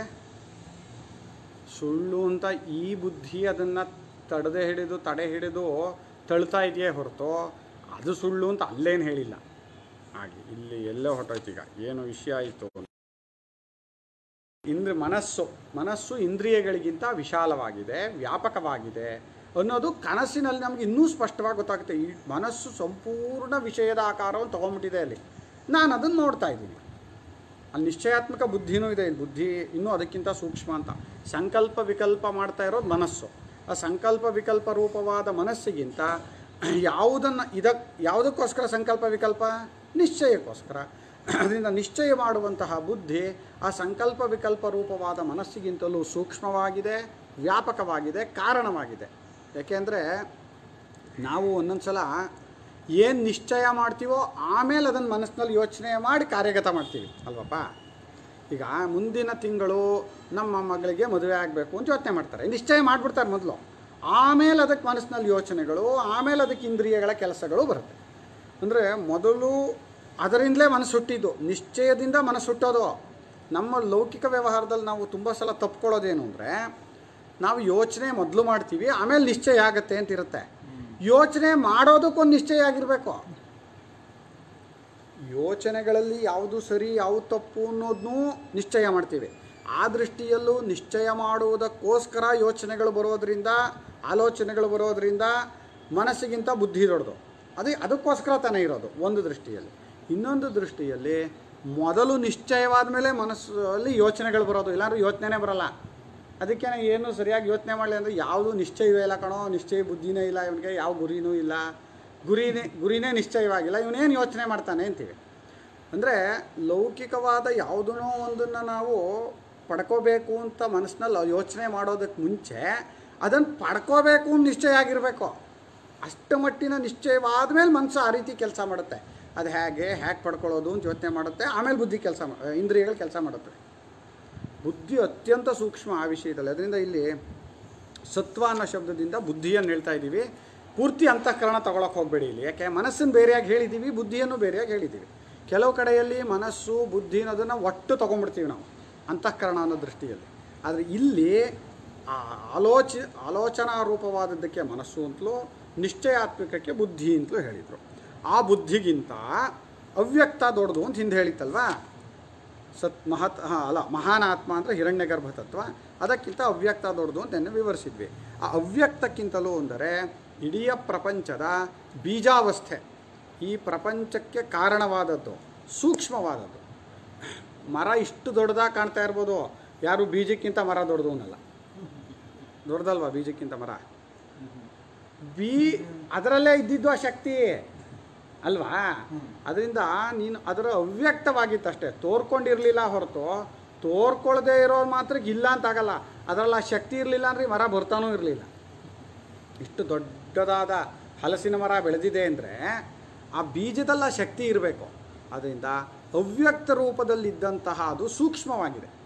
ಸೂಕ್ಷ್ಮವಾಗಿದೆ ವ್ಯಾಪಿಯಾಗಿದೆ. ವ್ಯಾಪಿಯಾಗಿದೆ ಅಂದರೆ ನೋಡಿ ಇಡೀ ಮರ ಒಂದು ಸೂಕ್ಷ್ಮದಲ್ಲಿ ಸೇರ್ಕೊಂಡಿದೆ ಅಂದರೆ ಆ ಬೀಜ ಮರವನ್ನು ವ್ಯಾಪಿಸ್ಕೊಂಡೇ ಇದೆ. ನನಗೆ ಕಾಣಿಸ್ತಾ ಇಲ್ಲ ಅಷ್ಟೇ. ವ್ಯಕ್ತ ಅವ್ಯಕ್ತದಲ್ಲಿ ಏನು ವ್ಯತ್ಯಾಸ ಅಂದರೆ ನಮಗೆ ಗೊತ್ತಾಗ್ತಾ ಇಲ್ಲ ಅನ್ನೋ ಅರ್ಥ ಹೇಳ್ತಾ ಇರೋದು. ಇಡೀ ಪ್ರಪಂಚ ಪ್ರಳಯದಲ್ಲಿ ಬೀಜ ರೂಪದಲ್ಲಿದೆ ಅಂದರೆ ನಮಗದನ್ನು ಬಿಡಿಸಿ ಬಿಡಿಸಿ ನೋಡೋಕೆ ಅವಾಗ ಅವಕಾಶ ಇರಲ್ಲ ಅಂತ. ಅಲ್ವಾ? ಆದ್ದರಿಂದ ಮತ್ತೆ ಅವ್ಯಕ್ತ ಕಾರಣವೂ ಆದ್ದರಿಂದ. ಅವ್ಯಕ್ತದಿಂದಲೇ ತಾನೆ. ವ್ಯಕ್ತ ಪ್ರಪಂಚ ಹುಟ್ಟೋದು. ಕಾರಣವಾಗಿದೆ ಸೂಕ್ಷ್ಮವಾಗಿದೆ, ವ್ಯಾಪಿಯಾಗಿದೆ. ಅನ್ನೋ ಅರ್ಥದಲ್ಲಿ ಅದು ಅವ್ಯಕ್ತವು, ಅವ್ಯಕ್ತ ಅವ್ಯಕ್ತವು ದೊಡ್ಡದು ಅಂತ ಹೇಳಿದರು, ಅವ್ಯಕ್ತಕ್ಕಿಂತಲೂ ಪರಮಾತ್ಮನು ಹೆಚ್ಚಿನವನು ಅಂತ. ಯಾಕೆಂದರೆ ಅವ್ಯಕ್ತವು ಒಂದು ಬೀಜಾವಸ್ಥೆ ಅಂತ ಆದಮೇಲೆ ಅದು ಏನು, ಆ ಪ್ರಪಂಚದ ಕಡೆಗೆ ಇರೋದದು ಯಾಕೆಂದರೆ ಪ್ರಪಂಚವನ್ನು ಹುಟ್ಟಿಸುವ ಶಕ್ತಿ ಅದರೊಳಗಿದೆ ಇನ್ನೂ. ಅದರಿಂದ ಅದು ಪ್ರಪಂಚದ ಕಡೆಗೆ ಇದೆ. ಆ ದೃಷ್ಟಿಯಲ್ಲಿ ನೋಡಿದರೆ ಅವ್ಯಕ್ತವೂ ಕೂಡ ಸಂಸಾರವನ್ನು ಮೀರಿದ್ದಲ್ಲ. ಅವ್ಯಕ್ತದಲ್ಲಿ ಒಂದಾದರೂ ನಿನ್ನಲ್ಲಿ ಆ ದುಃಖ ರೂಪ, ದುಃಖವೂ ಸೂಕ್ಷ್ಮವಾಗಿರುತ್ತೆ. ಪ್ರಪಂಚದ ಎಲ್ಲವೂ ಕೂಡ ಸೂಕ್ಷ್ಮವಾಗಿರುತ್ತೆ ಅಂತಲೇ ಅರ್ಥ. ಆ ದೃಷ್ಟಿಯಲ್ಲಿ ಅವ್ಯಕ್ತದಲ್ಲಿ ಒಂದಾಗೋದು ಕೂಡ ಏನು? ಅತ್ಯುತ್ತಮವಾದ ಗತಿ ಏನಲ್ಲ ಈ ಕಡೆಯಿಂದ ಅತ್ಯುತ್ತಮವಾದ ಗತಿ. ಪರಮಾತ್ಮನ ಕಡೆಯಿಂದ ಅದೇನು ಫೈನಲ್ ಏನಲ್ಲ. ಆದರೆ ಆ ಚೈತನ್ಯ ಸ್ವರೂಪನಾದ ಪರಮಾತ್ಮ ಆ ಅವ್ಯಕ್ತವನ್ನು ಬೆಳಗ್ತಾ ಇದ್ದಾನೆ. ಇದು ಬೀಜಾವಸ್ಥೆಯನ್ನು ಗೊತ್ತು ಮಾಡ್ಕೊಳ್ಳೋನು ಯಾರು? ಈಗ ನಿದ್ರಾವಸ್ಥೆಯನ್ನೇ ಅವ್ಯಕ್ತ ಪ್ರಪಂಚಕ್ಕೂ ಉದಾಹರಣೆಯಾಗಿ ಹೇಳ್ತಾರೆ. ಯಾವ ಕಡೆಯಿಂದ ಅಂದರೆ ಈ ಕಡೆಯಿಂದ ಹೇಳುವಾಗ. ಎಚ್ಚರ ಕನಸುಗಳಿಗೆ ಕಾರಣವಾಗಿದೆ. ಎಚ್ಚರ ಕನಸುಗಳನ್ನು ಹುಟ್ಟಿಸುತ್ತೆ ಅನ್ನೋದು. ಈಗ ಕೇವಲ ನಾನೊಬ್ಬನೇ ಇದ್ದೆ. ನಿದ್ರಾ ನಿದ್ರಾವಸ್ಥೆಯಲ್ಲಿ. ಅಂಥ ನನ್ನಿಂದ ಎಚ್ಚರ ತೋರ್ಕೊಂಡಿದ್ದು, ಅಂಥ ನನ್ನಿಂದ ಸ್ವಪ್ನ ಅನ್ನೋ ತೋರ್ಕೊಂಡಿದ್ದು. ಆ ದೃಷ್ಟಿಯಲ್ಲಿ ನಿದ್ರಾವಸ್ಥೆಯನ್ನು ಅವ್ಯಕ್ತ ರೂಪದಲ್ಲೂ ಹೇಳ್ಬೋದು. ಆ ಅವ್ಯ, ಅಲ್ಲಿ ಎಚ್ಚರ ಕನಸುಗಳ ಬೀಜ ಇದೆ ಅಂತ. ಹೇಗೆ ಅಂದರೆ ಈಗ ಯಾಕಪ್ಪ ನೀನು ಅಂಥ ಪರಮಾತ್ಮನಲ್ಲಿ ಒಂದಾದರೂ ಕೂಡ ನಿದ್ರೆಯಲ್ಲಿ ಯಾಕೆ ವಾಪಸ್ ಬಂದೆ? ನೀನು ಅದೇ ಶರೀರ ಯಾಕೆ ತಗೊಂಡೆ? ಅಂದರೆ ಇದರ ಬೀಜ ಸೂಕ್ಷ್ಮಾವಸ್ಥೆ ಇತ್ತಪ್ಪ ಇನ್ನೂ ಹೋಗಿರಲಿಲ್ಲ ಅನ್ಬೇಕು. ಯಾಕೆ? ಪ್ರಯತ್ನಪೂರ್ವಕವಾಗಿ ಹೋಗಿಸ್ಕೊಂಡಿದ್ದಲ್ಲ ಅದು. ಸಹಜವಾಗಿ ಬಂದಂಥದ್ದು. ಒಂದು. ಆದರೆ ಇನ್ನು ನಿದ್ ಇದು ನಿದ್ರಾನುಭವವನ್ನು ಇಟ್ಕೊಂಡು ಹೇಳ್ತಾ ಇರೋದಲ್ಲ. ನಾವು ವಾಪಸ್ ಬಂದ್ವಿ ಪ್ರಪಂಚಕ್ಕೆ ಅನ್ನೋದು ಇಟ್ಕೊಂಡು ಹೇಳ್ತಾ ಇರೋದು. ಆ ದೃಷ್ಟಿಯಲ್ಲಿ ನಾವು ವಾಪಸ್ ಬರಬೇಕು ಅಂತ ಆದರೆ ಅಲ್ಲಿ ಅದರ ಸೂಕ್ಷ್ಮ ರೂಪ ಇದ್ದೇ ಇತ್ತು. ಆ ಸೂಕ್ಷ್ಮ ರೂಪವನ್ನೇ ನಾವು ಅವ್ಯಕ್ತ ಅಂತ ಹೇಳೋದು. ಇದ್ರ ಎಲ್ಲದರ ಸೂಕ್ಷ್ಮವೂ ಅಲ್ಲಿ ಇದ್ದೇ ಇತ್ತು ನಿದ್ರೆಯಲ್ಲಿ. ಆ ದೃಷ್ಟಿಯಲ್ಲಿ ಆ ಕಡೆಯಿಂದ, ಯಾವುದು ಈ ಎಚ್ಚರಾವಸ್ಥೆಗಳ ಕಡೆಯಿಂದ ನಿದ್ರೆಯನ್ನು ಅವ್ಯಕ್ತ ಅಂತ ಹೇಳೋದಾದರೂ ಆ ಚೈತನ್ಯ ರೂಪ ಅದನ್ನು ವ್ಯಾಪಿಸ್ಕೊಂಡಿರೋನೇ ತಾನೆ. ಚೈತನ್ಯ ರೂಪನಾದ ನಾನು ನಿದ್ರೆಯ ಅವ್ಯಕ್ತ ರೂಪವನ್ನೂ ವ್ಯಾಪಿಸ್ಕೊಂಡಿದ್ದೀನಿ ನಾನು. ಎಲ್ಲೂ ಬಿಟ್ಟಿಲ್ಲ, ಇಲ್ಲೂ ಅಷ್ಟೇ. ನಿದ್ರೆಯಲ್ಲಿ ಅವ್ಯಕ್ತ ರೂಪವನ್ನು, ಬೀಜ ರೂಪವನ್ನು ವ್ಯಾಪಿಸ್ಕೊಂಡಿದ್ದೀನಿ ಅಂದರೆ ಆ ಅವ್ಯಕ್ತ ರೂಪವೇ ವ್ಯಕ್ತವಾದಾಗ ಇದನ್ನು ಸಂಪೂರ್ಣವಾಗಿ ವ್ಯಾಪಿಸ್ಕೊಂಡಿರ್ತೀನಿ ನಾನು. ನಾನು ವ್ಯಾಪಿಸಿಕೊಳ್ಳದೆ ಇರೋ ಜಾಗವೇ ಇಲ್ಲ ಇಲ್ಲಿ. ಯಾವ ಜಾಗವನ್ನು ನಾನು ವ್ಯಾಪಿಸ್ಕೊಂಡಿಲ್ವೋ ಅದನ್ನು ಗೊತ್ತಿಲ್ಲ ಅಂತಲೇ ಆಗುತ್ತೆ. ನಾನು ಅಂದರೆ ನೀನು ನೀನು, ಇದು ಅಂದ್ರೆ ಅಲ್ಲ. ಇದು ಒಂದು ಅಂತಲ್ಲ. ಚೈತನ್ಯ ರೂಪದಿಂದ ನಾನು ಅಂತ ಹೇಳ್ತಾ ಇರೋದು. ಕೇವಲ ಜ್ಞಾನ ರೂಪದಿಂದ ಹೇಳ್ತಾ ಇರೋದು. ಯಾವುದರಿಂದ, ಯಾವ ಅರಿವಿನಿಂದ ನಾನು ಇಡೀ ಆಕಾಶವನ್ನೇ ಅರ್ಥ ಮಾಡ್ಕೋತಾ ಇದ್ದೀನೋ ಆ ನಾನು. ಆಕಾಶವನ್ನು ವ್ಯಾಪಿಸ್ಕೋಬೇಕು ಅಂದರೆ ಆಕಾಶದಂತೆ ಆಗಬೇಕು ನಾನು. ಹಾಗೆ ಆಕಾಶದಂತೆ ಆಕಾಶವು ಸರ್ವವ್ಯಾಪಕವಾಗಿದೆ ಏನು ಗೊತ್ತಾಗ್ತಾ ಇದೆ. ಆಕಾಶವು ಸರ್ವವ್ಯಾಪಕವಾಗಿದೆ ಏನು ಗೊತ್ತು ಮಾಡ್ಕೋತಾರೆ ನಾನು, ಆಕಾಶದಂತೆಯೇ ಸರ್ವವ್ಯಾಪಕನಾಗಿದ್ದೀನಿ. ಹಾಗಿರುವ ನಾನು ಅರಿವಿನ ರೂಪನಾದ ನಾನು, ಎಲ್ಲಿಲ್ಲ ನಾನು? ಯಾಕೆ? ನಾನು ಅಲ್ಲಿಲ್ಲ ಅಂತ ಹೇಳೋದು ಒಂದು ಅರಿವಿನಿಂದಲೇ. ಅರಿವಿಲ್ಲದೆ ಇರೋ ಜಾಗವೇ ಇಲ್ಲ ಜ್ಞಾನವಿಲ್ಲದೆ ಇರೋ ಜಾಗವೇ ಇಲ್ಲ. ಆದರೆ ನಮಗೆ ಇಲ್ಲಿಗೆ ಜ್ಞಾನ ಆಗಬೇಕು, ನನಗೆ ಗೊತ್ತಾಗಬೇಕು ಅನ್ನೋ ಪರಿಚ್ಛಿನ್ನ ಭಾವದಲ್ಲಿ ನಮಗೆ ಗೊತ್ತಾಗ್ತಾ ಇಲ್ವಲ್ಲ ಅದು ಅನ್ಸುತ್ತೆ. ನನಗೆ ಗೊತ್ತಾಗ್ತಾ ಇಲ್ಲ ಅನ್ನೋದು ನಿನಗೆ ಗೊತ್ತಾಗ್ತಾ ಇದೆ ಅದು. ಯಾವ ನನಗೆ ಅಂದರೆ ನನಗೆ ಅಂದರೆ ಅಭಿಮಾನದ ನನಗೆ, ಪರಿಚ್ಛಿನ್ನ ದೇಹಾದಿಗಳಲ್ಲಿ, ಬುದ್ಧಿಯಲ್ಲಿ ಅಭಿಮಾನ ಪಟ್ಕೊಂಡಿರೋ ನನಗೆ, ಇದು ಗೊತ್ತಾಗಬೇಕು ಅಂತ ಏನೋ ಒಂದು ಅನ್ಕೋತಾನೆ. ಅದು ಗೊತ್ತಾಗಲ್ಲ ಅಂತ ಆಗುತ್ತೆ. ಅದು ಬುದ್ಧಿಯಲ್ಲಿರುವ ವ್ಯತ್ಯಾಸವೇ ಹೊರತು ಬುದ್ಧಿ ಗೊತ್ತಾಗಲಿಲ್ಲ ಅಂದ್ಲೂ ಗೊತ್ತಾಗುತ್ತಲ್ಲ ನನಗೆ. ಆ ನಾನು ನಾನು ಇಲ್ಲದೆ ಇರೋ ಜಾಗವೂ ಇಲ್ಲ ವ್ಯಾಪಿಸ್ಕೊಳ್ಳದೆ ಇರೋ ವಸ್ತುಗಳೂ ಇಲ್ಲ. ಆ ನಾನಾಗಿ ಉಳ್ಕೊಂಡಾಗ ಅದಕ್ಕೆ ಜ್ಞಾನಿಗಳಿಗೆ ಅಂಥ ಶಕ್ತಿ ಬರುತ್ತೆ. ಯಾವ ಊರಿನ ಯಾವ ವ್ಯಕ್ತಿ ಬಗ್ಗೆ ಹೇಳಿದ್ರು ಅವ್ರು ಹೇಳ್ಬಿಡ್ತಾರೆ ಹಾಗೆ ಸರ್ವವ್ಯಾಪಕವಾದ ಪರಮಾತ್ಮನೇ ನಾನು ಅಂತ ಅರ್ಥ ಮಾಡ್ಕೊಂಡವ್ರಿಗೆ ಏನು ಕಷ್ಟ ಅದು? ಆದರೆ ನಮಗೆ ಪರಿಚಿನ ಭಾವಕ್ಕೆ ಮತ್ತೆ ತಿಳ್ಕೊಳ್ ನಿಮಗೆ ಗೊತ್ತಾಗ್ಬಿಡ್ತಾ ಇಲ್ಲ ಅನ್ಸುತ್ತೆ ಇದು ನಾನು ಹೆಣ? ಇದು ನಾನು ಇಲ್ಲ ಬುದ್ಧಿ, ನಾಯಿ ಬುದ್ಧಿ, ನಾಯಿ ಬಾಲ ಡೊಂಕು ಅಂತ ಆ ಟಕ್ಕಂತ ಇಲ್ಲಿಗೆ ಇಳಿದು ಬಂದ್ಬಿಡುತ್ತದು. ನಾಯಿ ಅಂತಂದ್ರೆ ಸಿಂಹಾಸನ ಕೂರಿಸಿದ್ರು, ಅಮೇಧ್ಯ ನೋಡಿದರೆ ಕೆಳಗೆ ಇಳಿದು ಬರುತ್ತಾರೆ ಅಂತಾರಲ್ಲ? ಹಾಗೆ ತತ್ವ, ವೇದಾಂತ ತತ್ವದಲ್ಲಿ ಆ ಸರ್ವವ್ಯಾಪಕ ತತ್ವವನ್ನು ಹೇಳ್ತಾ ಹೇಳ್ತಾ ಕೊನೆಗೆ ತಕ್ಕಂಥ ದೇಹ ಬುದ್ಧಿಗೆ ಬಂತು. ರಾಮಕೃಷ್ಣ ಪರಮಹಂಸರು ಬೈದಿದ್ದಾರೆ. ಇದು ರಾಮಕೃಷ್ಣ ಪರಮಹಂಸರು ನೀನು ಎಷ್ಟಾದರೂ ಚಿಂತನೆ ಚಿಂತನೆ ಮಾಡು, ಈ ಪಾಪಿ ಅಹಂ ಎಂಬುದು ಎಲ್ಲಿಂದರೋ ನುಸುಳಿಕೊಂಡು ಬಂದು ಬಿಡುತ್ತದೆ ಅಂತ ಅಲ್ಲ? ರಾಮಕೃಷ್ಣ ವಚನ ವೇದದಲ್ಲಿ ಬರೆದಿದ್ದಾರೆ. ಹೇಳಿದ್ದಾರೆ. ಬರೆದಿರೋರು ಯಾರೋ ತಾನೆ. ಎಷ್ಟು ಕಷ್ಟ ಅಂದರೆ ನಾನು ಒಂದಷ್ಟು ಇದು ಅನಿಸ್ಬಿಡುತ್ತೆ. ಇದಕ್ಕೆಲ್ಲ ಗೊತ್ತಾಗುತ್ತೆ ಅನ್ಸುತ್ತೆ. ಇದಕ್ಕೆ ಗೊತ್ತಾಗುತ್ತೆ ಅಂತ ಯಾರು ವೇದಾಂತ ಹೇಳ್ತಾ ಇದೆಯಾ ಅದನ್ನ ಅದು ಹೇಳಿದ್ರದ್ದು ದೊಡ್ಡ ವಿಷಯವಾಗುತ್ತೋ? ಅದು ತಪ್ಪು ಅಂತ ಆಗತ್ತೆ ಹೊರತು? ಇದಕ್ಕೆ ಇದೇ ಗೊತ್ತಾಗ್ತಾ ಇಲ್ಲ. ಹೊರಗಿನ ಪ್ರಪಂಚ ಗೊತ್ತಾಗ್ತಾ ಇರೋದು ಆ ಚೈತನ್ಯದ ಶಕ್ತಿ ಎಲ್ಲಿ ಮೊದಲು ಅಭಿವ್ಯಕ್ತವಾಗಿದೆಯೋ, ಹೆಚ್ಚಾಗಿ ಅಭಿವ್ಯಕ್ತವಾಗಿದೆಯೋ, ಆ ಬುದ್ಧಿ ಗೊತ್ತಾಗದೆ ಹೊರತು ದೇಹ ಗೊತ್ತಾಗತ್ತಾ? ಏನು ಮಾಡೋದು? ನಮಗೆ ಅದು ಇಲ್ಲೇ ನಮಗೆ ವಿವೇಕ ಇಲ್ಲ ಅನ್ನೋದು ಈ ಜಾಗಕ್ಕೆ ಸಾಧನೆ ಬೇಕಾಗಿರೋದು. ಜಪತಪಾದಿ ಎಲ್ಲ ಸಾಧನಗಳು, ಶಾಸ್ತ್ರೋಕ್ತ ಕರ್ಮಗಳು ಕೂಡ ಈ ಜಾಗಕ್ಕೆ ಬೇಕಾಗಿರೋದು ಅಲ್ಲಿ ಬುದ್ಧಿಯಲ್ಲಿರುವ ಅಭಿಮಾನವನ್ನು ಬಿಡಿಸ್ಕೊಳ್ಳೋಕ್ಕೆ ಬುದ್ ಮೊದಲು ಎಲ್ಲಿಂದಲಾದರೂ ಬರಲಿ ಮೊದಲು ಬುದ್ಧಿಯಲ್ಲೇ ಅಭಿಮಾನ ಬರೋದು. ಆಮೇಲೆ ಫ್ರ್ಯಾಕ್ಷನ್ ಆಫ್ ಸೆಕೆಂಡ್ ಅದು, ಎಷ್ಟು ಹೇಳಕ್ಕೆ ಬರಲ್ಲ ಅದನ್ನ ಅಷ್ಟಿದ್ರೆ ದೇಹವೇ ನಾನು ಅನಿಸ್ಬಿಡುತ್ತೆ.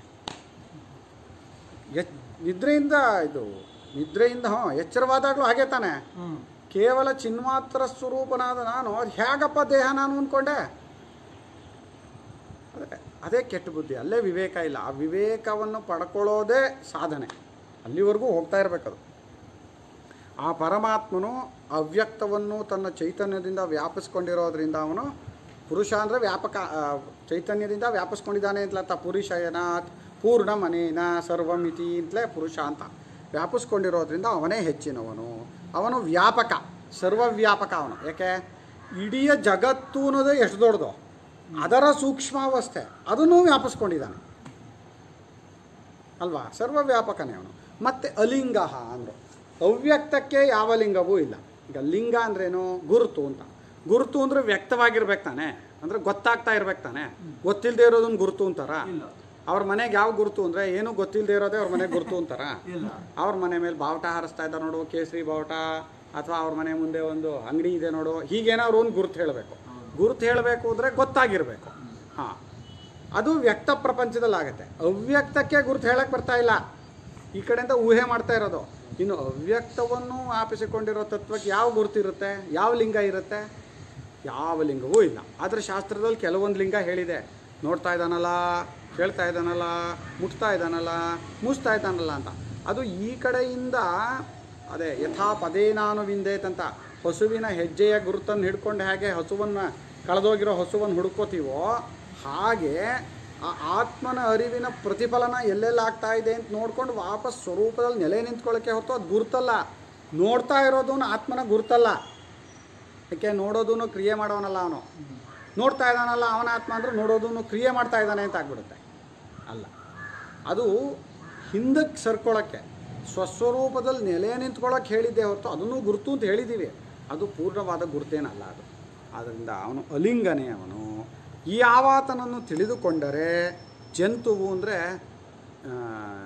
ಮರಣ ಸ್ವಭಾವದವನು ಅಂತ. ಜಂತು ಅಂದರೆ ಪ್ರಾಣಿ. ಪ್ರಾಣಿ ತುಚೇತನು ಜನ್ಮಿ, ಜಂತು ಜನ್ಯು ಶರೀರಿಣ ಅಮರಕೋಶ.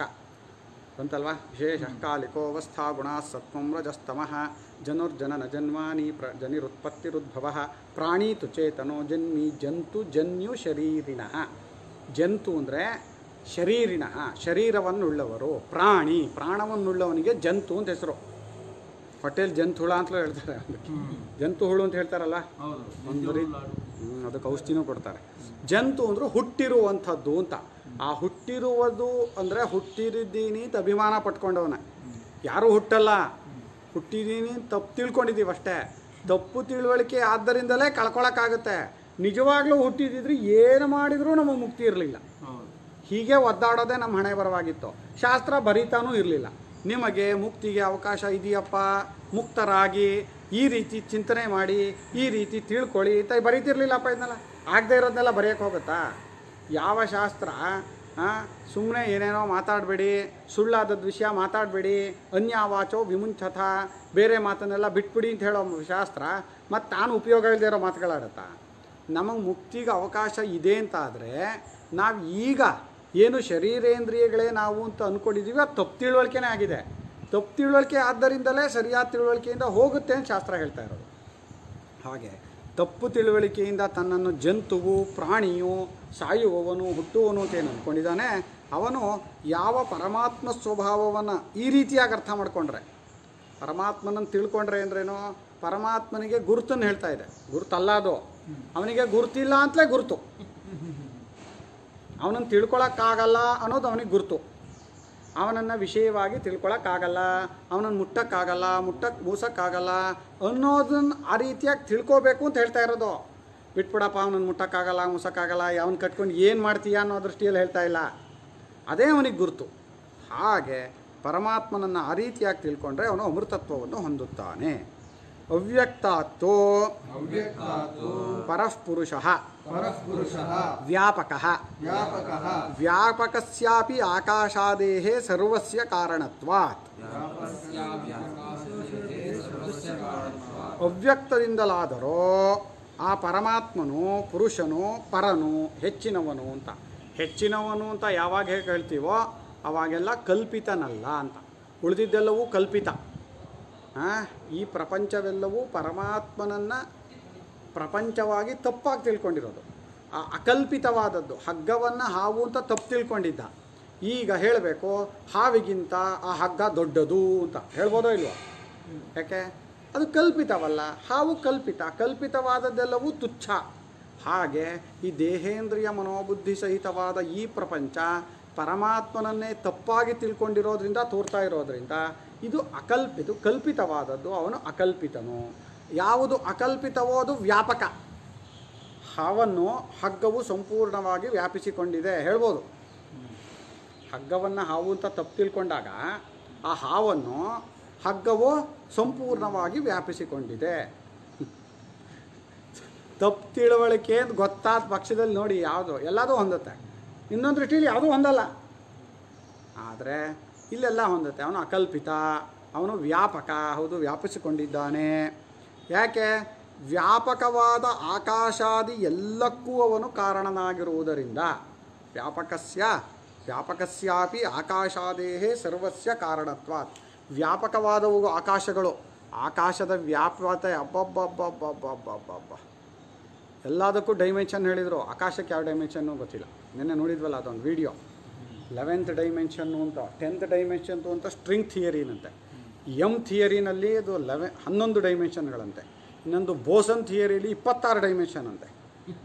ನಾವೆಲ್ಲ ಇನ್ನು ಮೂರನೇ ಡೈಮೆನ್ಷನಲ್ಲಿ ಇದ್ದೀವಿ ಅಂತ ಏನೋ ಹೇಳ್ತಾರೆ. ನಮ್ಮ ಹಿಂದೆ ಇದನ್ನೇ ಪುರಾಣಕಾರರು, ಇವರು ಎಲ್ಲ ಗಂಧರ್ವರು, ಯಕ್ಷರು, ಕಿನ್ನರರು, ಕಿಂಪುರುಷರು, ದೇವತೆಗಳು ಅಂತ ನಮ್ಮಲ್ಲಿ ಹದಿನಾಲ್ಕು ಪಟ್ಟಿ ಮಾಡಿದೆಯಲ್ಲ. ಹದಿನಾಲ್ಕು ಸ್ಟೆಪ್ಪು ಬ್ರಹ್ಮನ, ಚತುರ್ಮುಖ ಬ್ರಹ್ಮನವರೆಗೆ. ಅದೆಲ್ಲ ಡೈಮೆನ್ಷನ್ ಲೆಕ್ಕದಲ್ಲೇ ಹೇಳ್ಬೋದು. ಒಂದು ಒಂದು ಒಂದನೇ ಡೈಮೆನ್ಷನ್ನು ಎರಡನೇ ಡೈಮೆನ್ಷನ್ನು ನಾವು ತ್ರೀ ಡಿಲಿದ್ದೀವಿ ನಾಲ್ಕನೇ ಡೈಮೆನ್ಷನ್ನೆಲ್ಲ ನಮಗೆ ಅರ್ಥ ಆಗಲ್ಲ. ಐದನೇ ಡೈಮೆನ್ಷನ್ ಗೊತ್ತೇ ಆಗಲ್ಲ. ಆರನೇ ಡೈಮೆನ್ಷನ್ ಇದೆಯೋ ಇಲ್ವೋ ಊಹೆ ಮಾಡಬೇಕು. ಏನೇ, ಏನೇನೋ ಒಂದಷ್ಟು ನೋಡಿದ್ದೀವಿ ನಾನು ಇವರು.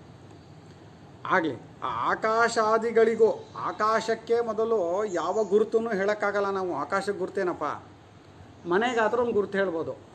ನೋಡಿ ಅವ್ರ ಮನೇಲಿ ಕೆಂಪು ಹಂಚ್ ಹಾಕಿದ್ದಾರೆ ಇವ್ರ ಮನೇಲಿ ನೀಲಿ ತಗಡು ಹಾಕಿದ್ದಾರೆ ಅವ್ರ ಮನೇಲಿ ಇನ್ನೇನೋ ಅಲ್ವಾ? ಮನೆಗೆ ಗುರುತು ಹೇಳ್ಬೋದು.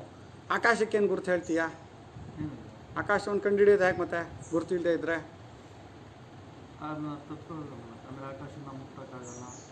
ಹಾಂ ಎಲ್ಲಿದೆ? ಎಲ್ಲಿದೆ ಅಂತ ಕೇಳಬಾರ್ದು ಸರ್ವವ್ಯಾಪಕವನ್ನು. ಸರ್ವವ್ಯಾಪಕವಾದದ್ರೊಳಗೆ ನಾವಿದ್ದೀವಿ. ಆಕಾಶದೊಳಗೆ ನಾವಿದ್ಕೊಂಡು ಆಕಾಶವನ್ನು ಎಲ್ಲಿದೆ ಅಂತ ಕೇಳೋದು ಸರಿನಾ?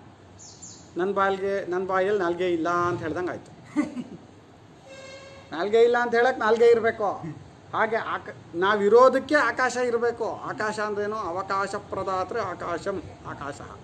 ಆಕಾ ಯಾವುದು ಎಲ್ಲದಕ್ಕೂ ಅವಕಾಶ ಕೊಡುತ್ತೋ ಅದು. ನಾವು ಎಲ್ಲಿದ್ದೀವೋ ಎಲ್ಲ ವ್ಯವಹಾರಗಳನ್ನು ಮಾಡ್ತಾ ಇದೀವೋ, ಅದೇ ಆಕಾಶವೇ ಹೊರತು ಆಕಾಶ ಎಲ್ಲಿದೆ ಅಂತ ಎಲ್ಲೋ ಹೋಗ್ಬೇಕು ಆಕಾಶ ನೋಡೋಕ್ಕೆ. ಆಕಾಶ ನೋಡೋಕೆ ನೂಕ್ ನುಗ್ಲು ಅಂತಾರೆ ನಮ್ಮಲ್ಲಿ, ಗಾದೆ.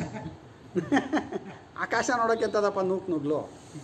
ಸಿನಿಮಾ ನೋಡೋದಕ್ಕೆ ನೂಕ್ ನುಗ್ಲು ಸರಿ. ಯಾಕೆ? ಒಂದು ಜಾಗದಲ್ಲಿ ಇರುತ್ತೆ, ಒಂದು ಇದರಲ್ಲೇ ನೋಡಬೇಕು. ಆಕಾಶ ಸರ್ವವ್ಯಾಪಕ. ಆದರೆ ಆಕಾಶವನ್ನು ವ್ಯಾಪಿಸಿಕೊಂಡಿರುವ ಪರಮಾತ್ಮನ ನೋಡೋಕೆ ನಾವು ನೂಕ್ ನುಗ್ಲು ಮಾಡ್ತೀವಿ. ಆ ದೇವಸ್ಥಾನಕ್ಕೆ ತುಂಬ ತಿರುಪತಿಲಿ ಭಾರಿ ರಶ್ ಅಂತೆ, ಗುರುವಾಯೂರಲ್ಲಿ ಭಾರಿ ರಶ್ ಅಂತೆ. ನೋಡೋದು ತಪ್ಪು ಅಂತ ಹೇಳ್ತಾ ಇಲ್ಲ. ಅದು ಭಕ್ತಿಯ ಸ್ಥಾನಗಳು ಭಕ್ತಿಯನ್ನು ಉದ್ಬೋಧನ ಮಾಡುವ ಸ್ಥಾನಗಳು ಅಂತ.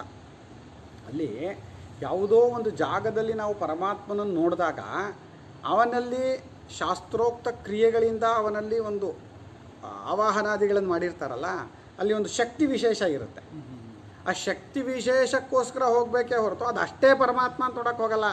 ಅದಕ್ಕೆ ನಮ್ಮ ಇವರು ರಾಮಕೃಷ್ಣ ಪರಮಹಂಸರೇನ ಯಾರೋ ಒಂದು ಯಾವುದೋ ಒಂದು ಪುಸ್ತಕದಲ್ಲಿ ಓದಿದ್ದೆ. ಪರಮಾತ್ಮನ ನೋಡೋಕೆ ಹೋಗಿ ನಾವು ಏನು ಮಾಡ್ತೀವಿ? ಕಣ್ಣು ಮುಚ್ಕೋತೀವಿ. ಅದೇ ಪರಮಾತ್ಮನಾಗಿದ್ರೆ ಕಣ್ಣು ಯಾಕಪ್ಪ ಮುಚ್ಕೋತಿದ್ದೆ ನೀನು? ಅದಷ್ಟೇ ಪರಮಾತ್ಮ ಅನ್ನೋ ತಿಳುವಳಿಕೆ ಯಾರಿಗೂ ಇಲ್ಲ. ನಮ್ಮಲ್ಲಿ ಅದು ಪರಮಾತ್ಮನನ್ನು ತೋರಿಸಿಕೊಡುವ ಒಂದು ಲಿಂಗ ಅದು, ಒಂದು ಗುರುತು. ಅದನ್ನು ನೋಡಿದಾಗಲೆಲ್ಲ ನನಗೆ ಪರಮಾತ್ಮನ ಜ್ಞಾಪಕ ಬರುತ್ತೆ. ಎಲ್ಲಿರುವ ಪರಮಾತ್ಮ? ಹೃದಯದಲ್ಲಿರೋ ಪರಮಾತ್ಮ. ಅದಕ್ಕೆ ಕಣ್ಣು ಮುಚ್ಕೋತೀನಿ. ನಾನು ಅಲ್ಲಿ ನೋಡ್ತಾ ಇರ್ತೀನಿ ನಾನು. ಅಲ್ವಾ? ಆ ಉದ್ದೇಶವೇ ಹೊರತು ಅದು ಖಂಡಿತ ಬೇಕು, ದೇವಸ್ಥಾನಾದಿಗಳು ಬೇಕು, ಅದಕ್ಕೆ ಪೂಜಾದಿ ಕೈಂಕರ್ಯಗಳು ನಡಿಬೇಕು, ಹೋಮ ಹವನಾದಿಗಳು ನಡಿಬೇಕು, ಎಲ್ಲದೂ ನಡಿಬೇಕು. ಅದೆಲ್ಲವೂ ನಮ್ಮ ಹೃದಯದಲ್ಲಿ ಆ ಪರಮಾತ್ಮನ ತಿಳುವಳಿಕೆಯನ್ನು ಉದ್ಬೋಧನ ಮಾಡೋಕ್ಕಿರೋ ಸಾಧನಗಳು. ಇಲ್ಲಾಂದ್ರೆ ನಮ್ಗೆ ಯಾವ ಸಾಧನವೂ ಇಲ್ಲ. ಏನೂ ಬೇಡ. ತಿಳ್ಕೊಳಪ್ಪ. ಏನು ತಿಳ್ಕೊಳ್ಳೋದು? ಅದೆಲ್ಲ ಇಟ್ಟೇ ತಿಳ್ಕೊಳಕ್ಕಾಗ್ತಾ ಇಲ್ಲ ಆ ತತ್ವವನ್ನು. ಅದನ್ನೆಲ್ಲ ಕೊಟ್ಟು, ಶಾಸ್ತ್ರಾದಿಗಳನ್ನಿಟ್ಟು ಹೇಳೋರನ್ನಿಟ್ಟು ಅದೇ ಪರಮಾತ್ಮನೇ ಎಲ್ಲ ಮಾಡಿರೋದು. ಇಷ್ಟೆಲ್ಲ ಇದ್ದರೂ ಕೂಡ ತಿಳ್ಕೊಳಕ್ಕೆ ಇಷ್ಟು ಕಷ್ಟವಾಗ್ತಾ ಇದೆ. ಏನೂ ಬೇಡ. ಹಾಂ ಹಿಂದೂಗಳು ವಿಗ್ರಹಾರಾಧಕರು ಅದು ತಪ್ಪು. ಎಲ್ಲದನ್ನು ಒಡೆದಾಕಬೇಕು ಅಂತ ಮುಸಲ್ಮಾನ್ ಕ್ರಿಶ್ಚಿಯನ್ರು ಬೇಕಾದಷ್ಟು ಒಡೆದ್ರು ಹಾಳು ಮಾಡಿದರು. ಸರಿ ಈಗ ತಿಳ್ಕೊಳಕ್ಕೆ ಏನು ಕ್ರಿಶ್ಚಿಯನ್ರೆಲ್ಲ ಜ್ಞಾನಿಗಳ? ಅವರು ಈಗ ಅವ್ರಿಗೆ ವಿಗ್ರಹಾರಾಧಕರು ಆಗ ಮುಸ್ಲಿಮ್ಸ್ ಏನು ಗೋಡೆನೇ ವಿಗ್ರಹ ಅಂತ ಅದೇ ಅವ್ರು ಅದನ್ನು ಅನ್ಕೊಂಡಿಲ್ಲ. ಅವ್ರ ವಿಗ್ರಹ ಅಂದರೆ ಇವನೊಂದು ಆಕಾರ ಅಂತ. ಅವ್ರಿಗೆ ಗೋಡೆ ಇಟ್ಕೊಂಡಿದ್ವಿ, ಅದು ವಿಗ್ರಹ ಅಂತ ಅವ್ರಿಗೆ ಗೊತ್ತಿಲ್ಲ. ಗೋಡೆ ಅನ್ನೋದು ಒಂದು ವಿಗ್ರಹವೇ ನಮ್ಮ ಅದಕ್ಕೂ ಹೇಳಿದ್ದು. ಅದಕ್ಕೆ ಹೇಳಿದ್ದು. ಅದು ಅವ್ರಿಗೆ ಗೊತ್ತಿಲ್ಲ, ಅವ್ರನ್ನ ವಿಗ್ರಹಾರಾಧಕರು ಅಲ್ಲ ಅಂತಲೇ ಅನ್ಕೊಂಡಿರೋದು. ನಾವು ನಿರಾಕಾರ ಸಾಧಕರು ಅಂತ. ಏನು ನಿರಾಕಾರ ಸಾಧನೆ ಅಂದ್ರೇನು? ನೀನು ನಿರಾಕಾರವನ್ನು ಸಾಧನೆ ಮಾಡ್ಬೇಕು ನೀನು? ಆ ನಿರಾಕಾರ ಸ್ವರೂಪ ಪರಮಾತ್ಮನೇ ಭಕ್ತರನ್ನು ಉದ್ಧಾರ ಮಾಡೋಕ್ಕೋಸ್ಕರವಾಗಿ ಸಗುಣ ಸಾಕಾರವಾಗಿಯೂ ತೋರ್ಕೊಂಡಿದ್ದಾನೆ. ಸ್ಯಾತ್ ಪರಮೇಶ್ವರಸ್ಯಾಪಿ ಇಚ್ಛಾವಶಾನ್ ಮಾಯಾಮಯಂ ರೂಪಂ ಸಾಧಕಾನುಗ್ರಹಾರ್ಥಂ ಶಂಕರಾಚಾರ್ಯರು, ಯದ್ಯಪಿ ಪರಮಾತ್ಮನಿಗೆ ಯಾವ ಆಕಾರಗಳಿಲ್ಲವಾದರೂ, ಅವನು ಸರ್ವವ್ಯಾಪಕ ತತ್ವವಾಗಿದ್ದರೂ ಕೂಡ, ಅವನು ಈ ಭಕ್ತರನ್ನು ಉದ್ಧಾರ ಮಾಡೋಕ್ಕಾಗಿ ಅವರವರಿಗೆ ಇಷ್ಟವಾದ ಮಾಯಾಮಯ ರೂಪವನ್ನು ತಗೋತಾನೆ ಎಂದರು ಮಾಯಾಮಯ ರೂಪ ಅದು ಸತ್ಯವಾದ ರೂಪ ಅಲ್ಲ, ಅದು ಪರಮಾತ್ಮನೇ ಹೇಳ್ತಾನೆ. ಕೃಷ್ಣಾವತಾರದಲ್ಲೂ ಹೇಳಿದ್ದಾನೆ ಬೇರೆ ಅವತಾರಗಳಲ್ಲೂ ಹೇಳ್ತಾನೆ. ಏನು ಇದೇ ಸತ್ಯವಾದ ರೂಪ ಇದೊಂದನ್ನೇ ಉಪಾಸನೆ ಮಾಡು ಇದಕ್ಕಿಂತ ಬೇರೆ ಯಾವ್ದನ್ನಾರು ನೀನು ಉಪಾಸನೆ ಮಾಡಿದ್ರೆ ಚಚ್ಚಾಕ್ಬಿಡ್ತೀನಿ ಅಂತ ಹೇಳಿದಾನ. ಅದನ್ನು ಹೇಳೋರೆಲ್ಲ ಬೇರೆ ಮತದವರು. ಏನಂತ? ನನ್ನನ್ನ ಅಂದರೆ ಯಾರನ್ನ? ಅಲ್ಲಿ ಬರೀತಾರೆ ಶಂಕರಾಚಾರ್ಯರು ನೋಡಿ ನೀವು. ನನ್ನನ್ನು ಅಂದರೆ ಕೃಷ್ಣ ರೂಪವಾಗಿರುವ ನನ್ನನ್ನಲ್ಲ. ಅದು ಮಾಯಾಮಯ ರೂಪ ಅಂತ ಕೃಷ್ಣನೇ ಉಪದೇಶ ಮಾಡಿದ್ದಾನಲ್ಲ ನಾರದರಿಗೆ. ನಾರದರಿಗೆ ಮತ್ತು ದೂರ್ವಾಸರಿಗೆ ಉಪದೇಶ ಮಾಡಿದ್ದಾನೆ ಅದೇ ಕೃಷ್ಣ ಮಹಾಭಾರತದಲ್ಲಿ ದೂರ್ವಾಸರು ಈ ರೂಪ ಯಾವಾಗಲೂ ಹೀಗೆ ಇರಬೇಕು ಅಂಥೇಳಿ ದೂರ್ವಾಸರು ಒಂದು ತುಪ್ಪ ತುಪ್ಪವನ್ನು ಪಾಯಸವನ್ನು ಕುಡಿದು ಇದರಲ್ಲಿ ಉಳಿದಿದ್ದು ಎಂಜಲು ತುಪ್ಪ, ಅದನ್ನು ಹಚ್ಕೊ ಮೈಗೆಲ್ಲ ಅಂತ ಕೊಡ್ತಾರೆ. ಮೈಗೆಲ್ಲ ಹಚ್ಕೋತಾನೆ ಕೃಷ್ಣ. ಇಷ್ಟು ಜಾಗ ಬಿಟ್ಟಿರ್ತಾನೆ ಕಾಲಲ್ಲಿ. ಯಾಕಪ್ಪ ಬಿಟ್ಟೆ? ಈ ರೂಪ ಯಾವಾಗಲೂ ಹೀಗೆ ಇರಬೇಕು ತಾನು ಮಾಡಿದ್ದು ಅಂತಾರೆ ದೂರ್ವಾಸರು.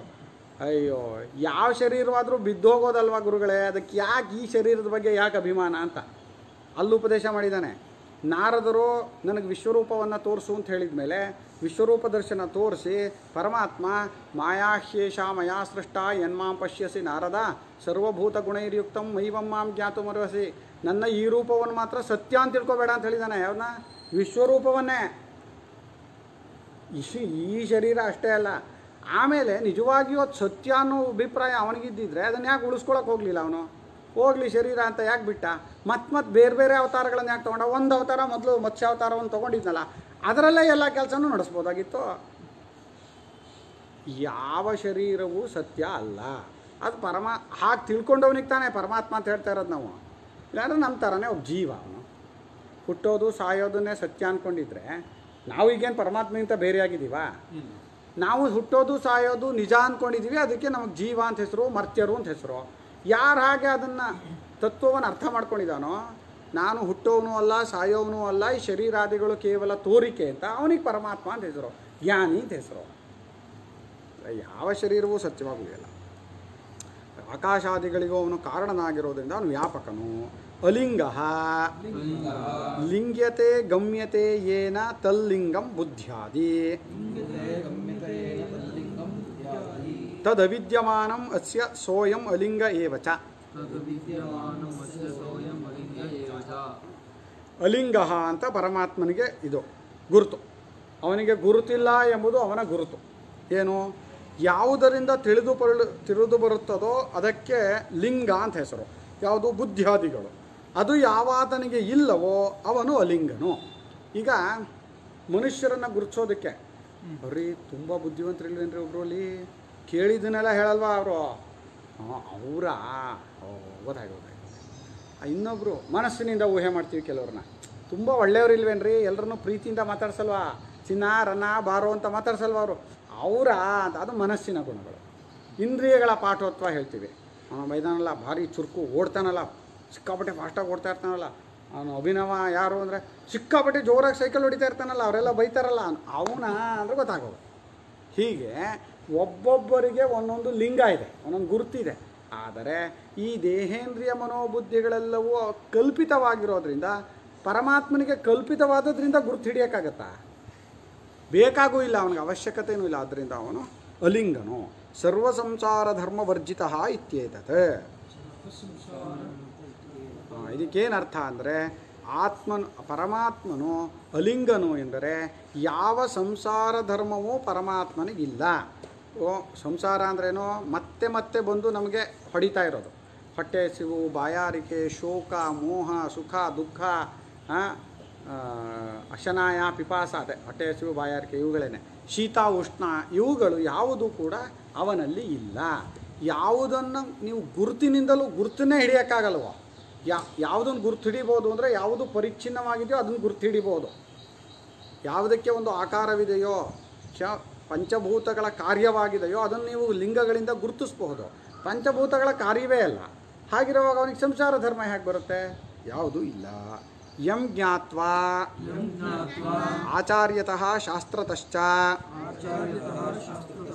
ಮುಚ್ಯತೆ ಜಂತು ಅವಿದ್ಯಾದಿ ಹೃದಯ ಗ್ರಂಥಿಭಿ ಜೀವನ್ನೇವಾ. ಯಾವುದನ್ನು ತಿಳಿದುಕೊಂಡರೆ ಅಂದ್ರು. ತಿಳಿದುಕೊಂಡರೆ ಎನ್ನುವಾಗ ನೋಡಿ ಶಂಕರಾಚಾರ್ಯರು ಸೇರಿಸ್ತಾ ಇದ್ದಾರೆ. ಏನು ಅಂತ? ಯಾವುದರಿಂದ ತಿಳ್ಕೊಳ್ಳೋದು ಪರಮಾತ್ಮನ್ನ? ಮೊದಲು ಆಚಾರ್ಯರಿಂದಲೂ, ಅಂದರೆ ಶಾಸ್ತ್ರದಿಂದಲೂ. ಶಾಸ್ತ್ರವನ್ನಿಂದಲೇ ತಿಳ್ಕೊಳ್ಳೋದು. ಆ ಶಾಸ್ತ್ರವನ್ನು ಹೇಳ್ಕೊಡಕ್ಕೆ ಒಬ್ರು ಇರಬೇಕು. ಗುರುತಿಸ್ಬೇಕಲ್ಲ. ಆ ಶಾಸ್ತ್ರದ ವಾಕ್ಯಗಳಿಗೆ ಸರಿಯಾದ ಅರ್ಥವನ್ನು ಹೇಳ್ಕೊಡೋರೊಬ್ರು ಇರಬೇಕು. ಅವರಿಗೆ ಒಂದು ಪರಂಪರೆ ಇರಬೇಕು. ಅಲ್ವಾ? ಆ ಶಾಸ್ತ್ರವನ್ನು ಅರ್ಥ ಮಾಡಿಕೊಳ್ಳುವ ಒಂದು ರೀತಿಗೆ ಪರಂಪರೆ ಅಂತ ಹೆಸರು. ಪರಂಪರೆ ಅಂದರೆ ಗುರು ಶಿಷ್ಯದಲ್ಲಿ ಪರಂಪರೆ ಆದರೂ ತಪ್ಪು ತಪ್ಪನ್ನೇ ಹೇಳ್ಕೊಡೋಂಥ ಗುರು ಶಿಷ್ಯರು ಶಿಷ್ಯರಾಗಲ್ಲ ಅವ್ನು ಗುರುನೂ ಆಗಲ್ಲಪ್ಪ. ಅವನು ತಪ್ಪು ಹೇಳ್ಕೊಟ್ಟ, ಅವನು ತಪ್ಪು ಹೇಳ್ಕೊಟ್ಟ, ಅವನು ತಪ್ಪು ಹೇಳ್ಕೊಟ್ಟ ಅಂದರೆ ಈಗ ಶಕುನಿ ಗುರು ದುರ್ಯೋಧನ ಶಿಷ್ಯ ಅಂತ ಯಾರೂ ತಗೊಳಲ್ಲ. ಹೇಳ್ಕೊಟ್ಟಿದ್ದೆಲ್ಲ ಬರೀ ತಪ್ಪೇನೆ. ಬರೀ ಅನರ್ಥವಾಗೋದನ್ನೇ. ಅದನ್ನಲ್ಲ ಆದರೆ ಕೃಷ್ಣನ ಗುರು ಅಂತೀವಿ, ಅರ್ಜುನನ ಶಿಷ್ಯ ಅಂತೀವಿ. ನಮ್ಮ ಸ್ವಾಮಿಗಳು ರಾಮನೇ ಗುರು, ರಾಮನೇ ಶಿಷ್ಯ, ರಾಮನ ನಾಮವು ಅವಿನಾಶ ಅಂತ ಅಲ್ಲಿ ಒಪ್ಕೋತೀವಿ. ಗುರು ಶಿಷ್ಯ ಸಂಪ್ರದಾಯ. ಆ ಗುರು ಶಿಷ್ಯ ಸಂಪ್ರದಾಯ ಹೇಗಿರಬೇಕು ಅಂದರೆ ಶಾಸ್ತ್ರವನ್ನು ಸರಿಯಾಗಿ ಅರ್ಥ ಮಾಡಿಕೊಳ್ಳುವ ರೀತಿ ಇರಬೇಕಲ್ಲೇ. ಸಿಕ್ಕಿದ್ದನ್ನೆಲ್ಲ ಹೇಳೋ ಅಂತ ಅದೇ ನಾನು ಒಂದ್ಸಲ ಹೇಳಿದ್ನಲ್ಲ. ನಮ್ಮ ಒಬ್ರು ಇಲ್ಲಿ ಬಂದಿದ್ದರು ಅವರು ನಮ್ಮ ಪರಂಪರೆಯಲ್ಲಿ ಒಬ್ಬರು ಗುರುಗಳು ಅವರು ಮರದ ಮೇಲೆ ಕೂತ್ಕೊಂಡಿದ್ರು, ಮರದ ಎಲೆ ಎಲ್ಲ ಹರಿತಾ ಇದ್ರು, ಆ ಮರದ ಎಲೆ ಎಲ್ಲ ಹರಿದು ಹರಿದು ಹರಿದು ಜ್ಞಾನ ಆಗೋಯ್ತು. ಯಾವ ಜ್ಞಾನ ಆಯಿತು? ಇದನ್ನು ನಾವು ಗುರು ಶಿಷ್ಯ ಸಂಪ್ರದಾಯದಲ್ಲಿ ನಾವು ಅವ್ರ ಶಿಷ್ಯರಾಗಿ ಹೋಗೋಕ್ಕಾಗಲ್ಲ. ಯಾಕೆ? ಶಾಸ್ತ್ರ ಇರಬೇಕು. ನಿನ್ನನ್ನು ಹೇಗಯ್ಯ ನಂಬೋದು ವ್ಯಕ್ತಿಯನ್ನು ನಂಬೋಕ್ಕಾಗಲ್ಲ. ವ್ಯಕ್ತಿಯಲ್ಲಿ ಅನೇಕ ದೋಷಗಳಿರುತ್ತೆ, ಮೋಸ ಮಾಡೋದು ಅನ್ನೋದೆಲ್ಲ ಇರುತ್ತೆ. ವ್ಯಕ್ತಿಯನ್ನು ನಂಬೋಕ್ಕಾಗಲ್ಲ. ಈ ವ್ಯ ಯಾವುದಾದರೂ ವ್ಯಕ್ತಿಯನ್ನು ಗುರು ಅಂತ ನಾವು ತಗೊಂಡಿದ್ರು ಅವನು ಶಾಸ್ತ್ರದಲ್ಲಿರೋದನ್ನು ಹೇಳ್ತಾನೆ ಅಂತ ಹೇಳಿ ಒಪ್ಕೊಂಡಿರೋದೇ ಹೊರತು, ಅವನು ಇಷ್ಟ ಬಂದಾಗಲೆಲ್ಲ ಹೇಳಿದರೆ ಅವನನ್ನ ಯಾಕೆ ಅಂತ ತಗೋಬೇಕು? ತೊಗೊಳಕ್ಕೆ ಬರೋದು. ಅದರಿಂದ ಆಚಾರ್ಯರು ಮತ್ತು ಶಾಸ್ತ್ರದಿಂದ ಅಂತ. ಶಾಸ್ತ್ರದಲ್ಲಿರುವ ವಿಚಾರವನ್ನೇ ಆಚಾರ್ಯ ಅಂದ್ರೇನು ಅಂದರೆ, ಅವನು ಅದನ್ನು ಅನುಸರಿಸಬೇಕು. ಆಚಿನೋತ್ಯಪಿ ಶಾಸ್ತ್ರಾಣಿ, ಆಚಾರೇ ಸ್ಥಾಪಯತ್ಯಪಿ, ಸ್ವಯಂ ಆಚರತೆ ಯಸ್ಮಾತ್ ಆಚಾರ್ಯಸ್ತೇನ ಸಸ್ಮೃತಃ. ಮೊದಲು ಶಾಸ್ತ್ರದ ವಿಷಯಗಳನ್ನೆಲ್ಲ ಕೂಡಾಕೊಂಡಿರ್ಬೇಕು ಅವನು. ಅದರಂತೆ ಅವನು ತಾನು ಅನುಷ್ಠಾನ ಮಾಡಬೇಕು. ಮತ್ತು ಶಿಷ್ಯರನ್ನು ಆ ರೀತಿ ಇರಿಸೋಕ್ಕೆ ಪ್ರಯತ್ನ ಮಾಡಬೇಕು. ಅವಾಗ ಅವನಿಗೆ ಆಚಾರ್ಯ ಅನಿಸುತ್ತೆ. ಅದು ಮುಖ್ಯ ಏನಾಯಿತು ಶಾಸ್ತ್ರವೇ ಆಯಿತು. ಯಾಕೆ ಶಾಸ್ತ್ರ ಇದಾಗುತ್ತೆ ಅಂದರೆ ಶಾಸ್ತ್ರದಲ್ಲಿ ಯಾವ ವ್ಯಕ್ತಿಯ ಕುಟಿಲತೆ, ದೋಷತೆ ಎಲ್ಲ ಶಾಸ್ತ್ರಕ್ಕೆ ಬರಲ್ಲ. ಶಾಸ್ತ್ರ ಎಲ್ರಿಗೂ ಸಮಾನವಾದ್ದರಿಂದ ಇವ್ರು ಹೆಚ್ಚು, ಇವ್ರು ಕಡಿಮೆ ಅಂತ ಹೇಳ್ಕೊಂಡು ಶಾಸ್ತ್ರಕ್ಕೆ ಏನೂ ಆಗಬೇಕಾಗಿಲ್ಲ. ಅದರಿಂದ ಶಾಸ್ತ್ರದಿಂದಲೂ, ಆಚಾರ್ಯರಿಂದಲೂ ಸರಿಯಾಗಿ ಇದನ್ನು ತಿಳಿದುಕೊಂಡು ಆ ರೀತಿಯಾಗಿ ಸಾಧನಗಳನ್ನು ಕೈಗೊಂಡರೆ ಅವನು ಬಂಧನದಿಂದ ಬಿಡುಗಡೆಯಾಗುತ್ತಾನೆ. ಏನು ಬಂಧನ ಅಂದರೆ ಅವಿದ್ಯೆಯೇ ಮೊದಲಾದ ಹೃದಯ ಗ್ರಂಥಿಗಳಿಂದ ಅವನು ಬಿಡಿಸಿಕೊಳ್ಳುತ್ತಾನೆ ಬದುಕಿರುವಾಗಲೇ. ಜೀವನ್ನೇಮ ನಮ್ಮ ಮೃತಸ್ಸನ್ ಸತ್ತೋದ್ಮೇಲಾಗುವಂಥ ಸ್ವರ್ಗಾದಿಗಳ ಕಥೆಯಲ್ಲ ಇದು? ಸ್ವರ್ಗಾದಿಗಳ ವಿಚಾರವನ್ನು ಶಾಸ್ತ್ರದಲ್ಲಿ ಹೇಳಿದೆ. ಆದರೆ ಯಾವ ಶಾಸ್ತ್ರ ಇಲ್ಲೇ ಅನುಭವಕ್ಕೆ ಬಂದು ಬರುವಂತಹ ನೀನು ಪರಮಾತ್ಮನೇ ಆಗಿದ್ದೀಯಾ? ನಾ, ನಾನು, ನೀನು ಶಾಸ್ತ್ರವೂ ಸೇರಿಸ್ಕೊಂಡು ಹೇಳುತ್ತೆ. ಶಾಸ್ತ್ರವೇ ಇದರಲ್ಲಿ ಬೃಹದಾರಣ್ಯಕದಲ್ಲಿ ಈ ತತ್ವವನ್ನು ತಿಳ್ಕೊಂಡಾಗ ವೇದವು ವೇದವಾಗಿ ಉಳಿಯೋಲ್ಲ ಅಂತ ಹೇಳಿದೆ. ಎಲ್ಲವೂ ಆತ್ಮನೇ. ಆತ್ಮನಿಗಿಂತ ಬೇರೆಯಾಗಿ ವೇದವೂ ಇಲ್ಲ, ಪ್ರಪಂಚವೂ ಇಲ್ಲ. ಶಾಸ್ತ್ರ ಹೇಳ್ತಾ ಇದೆ, ಪರಮಾತ್ಮ ಸ್ವರೂಪವನ್ನು ನೀನು ಅರ್ಥ ಮಾಡಿಕೊಂಡಾಗ ನೀನು, ನಾನು, ಅದು, ಇದು ಏನೂ ಉಳಿಯಲ್ಲ ಕಣೋ ಅಂತ ಹೇಳ್ತಾ ಇದೆ. ಹಾಗೆ ಬದುಕಿರುವಾಗಲೇ ಇಂಥ ಅನುಭವವನ್ನು ತಂದು ಕೊಡುವ ಶಾಸ್ತ್ರವೇ ಸ್ವರ್ಗಾದಿ ವಿಚಾರವನ್ನು ಹೇಳಿರೋದ್ರಿಂದ ಅದಕ್ಕೂ ಬೆಲೆ ಬಂತು, ಅದನ್ನು ನಂಬೋದು ನಾವು. ನಂಬಿಕೆ ಬರುತ್ತೆ. ಈಗ ಅಮೇರಿಕಾವನ್ನು ನೋಡಿ ಬಂದಂಥವರು ಅಲ್ಲಿ ಹೀಗೀಗಿದೆ ಅಂತ ಹೇಳಿದರೆ ನಾವು ಅದನ್ನು ನಂಬಬಹುದು ಅವ್ರ ಅನುಭವ ಇದೆ. ಅವರೇ ನೋಡಿಲ್ಲ. ಅವ್ರ ಕತೆ ಹೇಳ್ತಾ ಇರ್ತಾರೆ. ಅಲ್ಲಿ, ಹಾಗಿದೆಯಂತೆ, ಹೀಗಿದೆಯಂತೆ ಅಂತ. ಮೊದಲು ನಮ್ಮ ಭಾರತದ ಇತಿಹಾಸವನ್ನು ಒಬ್ಬ ಹುಚ್ಚ ಬರೆದಿದ್ದ.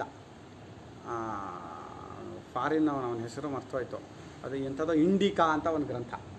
ಇಂಡಿ ಮೇಘಸ್ತಾನಿಸ್ ಮೇಘಸ್ತಾನಿಸ್ ಮೆಗಸ್ತಾನೀಸ್. ಮೇಗಸ್ತಾನೀಸ್ ಅಲ್ಲ. ಮೆಗಸ್ತಾನಿಸ್ ಇರ್ಬೋದು. ಎಂಥದ್ದು ಇಂಡಿಕಾ ಎಂಥ ಇಂಡಿಕಾ ಅದು? ಇಂಡಿಕಾ ಅಂತ. ಇಂಡಿಕಾ ಅಂತ ಅಷ್ಟೇನಾ? ಆ ಹುಚ್ಚ ಅದರಲ್ಲಿ ಅವ್ನು ನೋಡಿಲ್ಲ ಭಾರತವನ್ನು. ಭಾರತದಲ್ಲಿ ಎಲ್ಲರ ತಲೆ ಇಷ್ಟಿಷ್ಟು ದಪ್ಪ ಇರುತ್ತೆ. ಕಾಲೆಲ್ಲ ಸಣ್ಣ ಸಣ್ಣಕ್ಕಿರುತ್ತೆ ಹಾಗೆ ಹುಚ್ಚು ಚೆನ್ನಾಗಿ ಬರೆದಿದ್ದಾನಂತೆ. ನಾನು ಆ ಗ್ರಂಥ ನೋಡಿಲ್ಲ. ನಾನು ಅದನ್ನು ವಿಶ್ಲೇಷಣೆ ಮಾಡಿದಂಥ ಇನ್ನೊಂದು ಯಾವುದೋ ಒಂದು ಲೇಖನವನ್ನು ಓದಿದ್ದೆ. ಈ ಭಾರತದ ಚರಿತ್ರೆಯನ್ನು ಹೀಗೆ ಹುಚ್ಚುಚ್ಚಿನ ಥರ ಅಲ್ಲೆಲ್ಲ ಇರುವೆಗಳ ಮೇಲೆ ಹತ್ಕೊಂಡು ಹೋಗ್ತಾರಂತೆ. ಹಾಂ? ಹೀಗೆ ಹುಚ್ಚು ಅದನ್ನ ಇತಿಹಾಸ ಅಂತ ಬೇರೆ ಬರೆದಿಟ್ಟಿದ್ದ ಅದನ್ನು ಓ ಅಲ್ಲಿ ಅವ್ರಿಗೆ ಯಾವುದೇ ನಿಯಮಗಳಿಲ್ವಂತೆ ಹೋದವ್ರನ್ನೆಲ್ಲ ಈಟಿಲಿ ಚುಚ್ಚಿ ಚುಚ್ಚಿ ಸಾಯಿಸ್ತಾರಂತೆ ಇರುವೆಗಳ ಮೇಲೆ ಹತ್ಕೊಂಡು ಹೋಗ್ತಾರಂತೆ ಈಟಿಲಿ ಚುಚ್ಚಿ ಸಾಯಿಸ್ತಾರಂತೆ ಏನೇನೋ ಬರ್ತಿದ್ದಾನೆ ನಾನು ಅದು ಗ್ರಂಥ ನೋಡಿಲ್ಲ ಒಂದು ವಿಶ್ಲೇಷಣೆ ಒಂದು ಆ ಲೇಖ ಆ ಇಂಡಿಕಾ ಗ್ರಂಥವನ್ನು ಇದು ಹೀಗೆ ಬರೆದಿದ್ದಾನೆ ತಪ್ಪು ಅಂತ ಹೇಳಿದ ಒಂದು ಲೇಖನ ಓದಿದ್ದೆ ನಾನು. ನೋಡ್ಬೇಕು ಆ ಗ್ರಂಥವನ್ನು. ಏನೋ ಮೆಗಸ್ತಾನೀಸನ ಇಂಡಿಕಾ. ಹಾಗೆ ಅವನು ಬರದೇನೆ, ಇಲ್ಲಿ ವಿಚಾರವನ್ನು ನೋಡ್ದೇನೆ, ಇಲ್ಲಿಯ ಅತ್ಯದ್ಭುತವಾದ ವೈದಿಕ ಸಂಸ್ಕೃತಿಯ ಬಗ್ಗೆ ಗಮನವೂ ಇಲ್ಲದೇನೆ ಏನೇನೋ ಹುಚ್ಚಿನ ಥರ ಬರೆದ್ರೆ ಆ ಮಾತನ್ನು ನಂಬಿದವರು ಹುಚ್ಚರೇ ಹೊರತು ಅವ್ರದ್ದೇನು ಸತ್ಯ ಇಲ್ಲ. ಅದಕ್ಕೆ ಬ್ರಿಟಿಷರು ನಾವು ಭಾರತಕ್ಕೆ ಹೋಗಿ ಅವ್ರಿಗೆಲ್ಲ ನಾವು ನಾಗರಿಕತೆಯನ್ನು ಹಂಚಬೇಕು. ಆಮೇಲೆ ಆಮೇಲೆ ಶುರು ಮಾಡ್ಕೊಂಡಿದ್ದದು. ಅಂದರೆ ತಾವು ಮಾಡಿದ ಮೋಸಕ್ಕೆ ಇಲ್ಲಿಗೆ ಬಂದು ವ್ಯಾಪಾರ ರೂಪದಲ್ಲಿ ಬಂದು ಇಲ್ಲಿರೋದನ್ನೆಲ್ಲ ಹೊತ್ಕೊಂಡು ಹೋಗಿ ಇಲ್ಲಿರೋ ಸಂಸ್ಕೃತಿಯನ್ನೆಲ್ಲ ಹಾಳು ಮಾಡಿ ಜನರನ್ನೆಲ್ಲ ದುರ್ಮಾರ್ಗದಲ್ಲಿ ಹಚ್ಚಿ ಚೆನ್ನಾಗಿ ಎಲ್ರಿಗೂ ಕುಡಿಯೋದು ಇದು ಮಾಡೋದೆಲ್ಲ ಕಲಿಸಿದ ಮೇಲೆ ನಾವು ಇಂಡಿಯಾದಲ್ಲಿ ನಾಗರಿಕತೆ ಹಚ್ಚಕ್ಕೆ ಬಂದಿದ್ವಿ ಅಂತ ಹಂಚ್ ತ್ರೀ ಫಿಫ್ಟಿ ಬಿ ಸಿ ಯಾವುದು? ಅದರಲ್ಲಿ ಏನಿದೆ ನೋಡಿ ಗ್ರಂಥ ತೆಗೆದು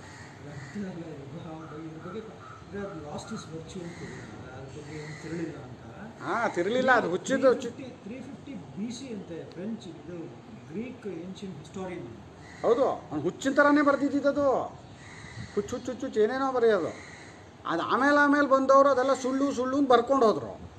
ಒಪ್ಕೋತೀನಿ ಅವರಲ್ಲೇನು ಒಳ್ಳೆಯವರಿಲ್ಲ ಅಂತ ನಾವು ಹೇಳಲ್ಲ. ಅವರಲ್ಲೂ ಒಂದಷ್ಟು ಜನ ಬಂದು ಅಯ್ಯೋ ಈ ಜಾಗ ಎಷ್ಟು ಈಗ ನನ್ನ ಹತ್ರ ಪ್ರವಾಸಿ ಕಂಡ ಇಂಡಿಯಾ ಅಂತ ಒಂದು ಸೀರೀಸ್ ಇದೆ ಅದು ಏಳು ವಾಲ್ಯೂಮ್ ಅದು. ಅದನ್ನು ಒಬ್ಬೊಬ್ಬರು ಯಾರು ಧರ್ಮಸ್ವಾಮಿ ಅಂತ ಅವನು ಹ್ಯೂಯನ್ ಸಾಂಗ್ಗಿಂತ ಹಿಂದೆ ಬರೆದವನು. ಅವನಿಂದ ಬಂದಂಥವ್ರು ಆ ಕಾಲದಿಂದ ಆ ಧರ್ಮಸ್ವಾಮಿ ಬರೀತಾನೆ. ಕುಂಭಮೇಳ ಆವಾಗ್ಲಿಂದಲೂ ನಡೀತಾ ಇತ್ತು. ಆ ಕುಂಭಮೇಳದ ವರ್ಣನೆ ಮಾಡಿದ್ದಾನೆ ಧರ್ಮಸ್ವಾಮಿ. ಹೇಗೆ ದಾನ ಧರ್ಮ ಮಾಡ್ತಿದ್ರು ಇಲ್ಲಿ ಇವರು ಆ ಮಹಾರಾಜರುಗಳೆಲ್ಲ ಆನೆ ಮೇಲೆ ಬಂದರು. ಅಲ್ಲಿ ಕೂತಂತಹ ಸಾಧು ಸನ್ಯಾಸಿಗಳಿಗೆ ಆನೆಯಿಂದ ಕೆಳಕ್ಕೆ ಇಳಿದು ಬಂದು ನಮಸ್ಕಾರ ಮಾಡಿ ತಮ್ಮ ಹತ್ರ ಇರೋದನ್ನೆಲ್ಲ ದೊರ ದಾನ ಮಾಡಿದ್ರು ಅಂತ ಧರ್ಮಸ್ವಾಮಿ ಅದರಲ್ಲಿ ಬರೆದಿದ್ದಾರೆ. ಮೊದಲನೇ ವಾಲ್ಯೂಮಲ್ಲಿ ಇದೆ ಅದು. ಆ, ಅಲ್ಲೇ ನಾವು ಹೇಳೋಕ್ಕೆ ಉದ್ದೇಶ ಏನು? ಯಾರು ಇದನ್ನು ನೋಡೇ ಇಲ್ವೋ, ಅದ್ರ ಬಗ್ಗೆ ಏನೇನೋ ಹೇಳಿದ್ರೆ ನಾವು ಕೇಳೋಕ್ಕಾಗಲ್ಲ. ಅನುಭವ ಇರುವಂಥವನು ಹೇಳಿದ ಮಾತನ್ನು ಕೇಳಬಹುದು, ಕೆಲವೊಂದು ನಂಬಬಹುದು.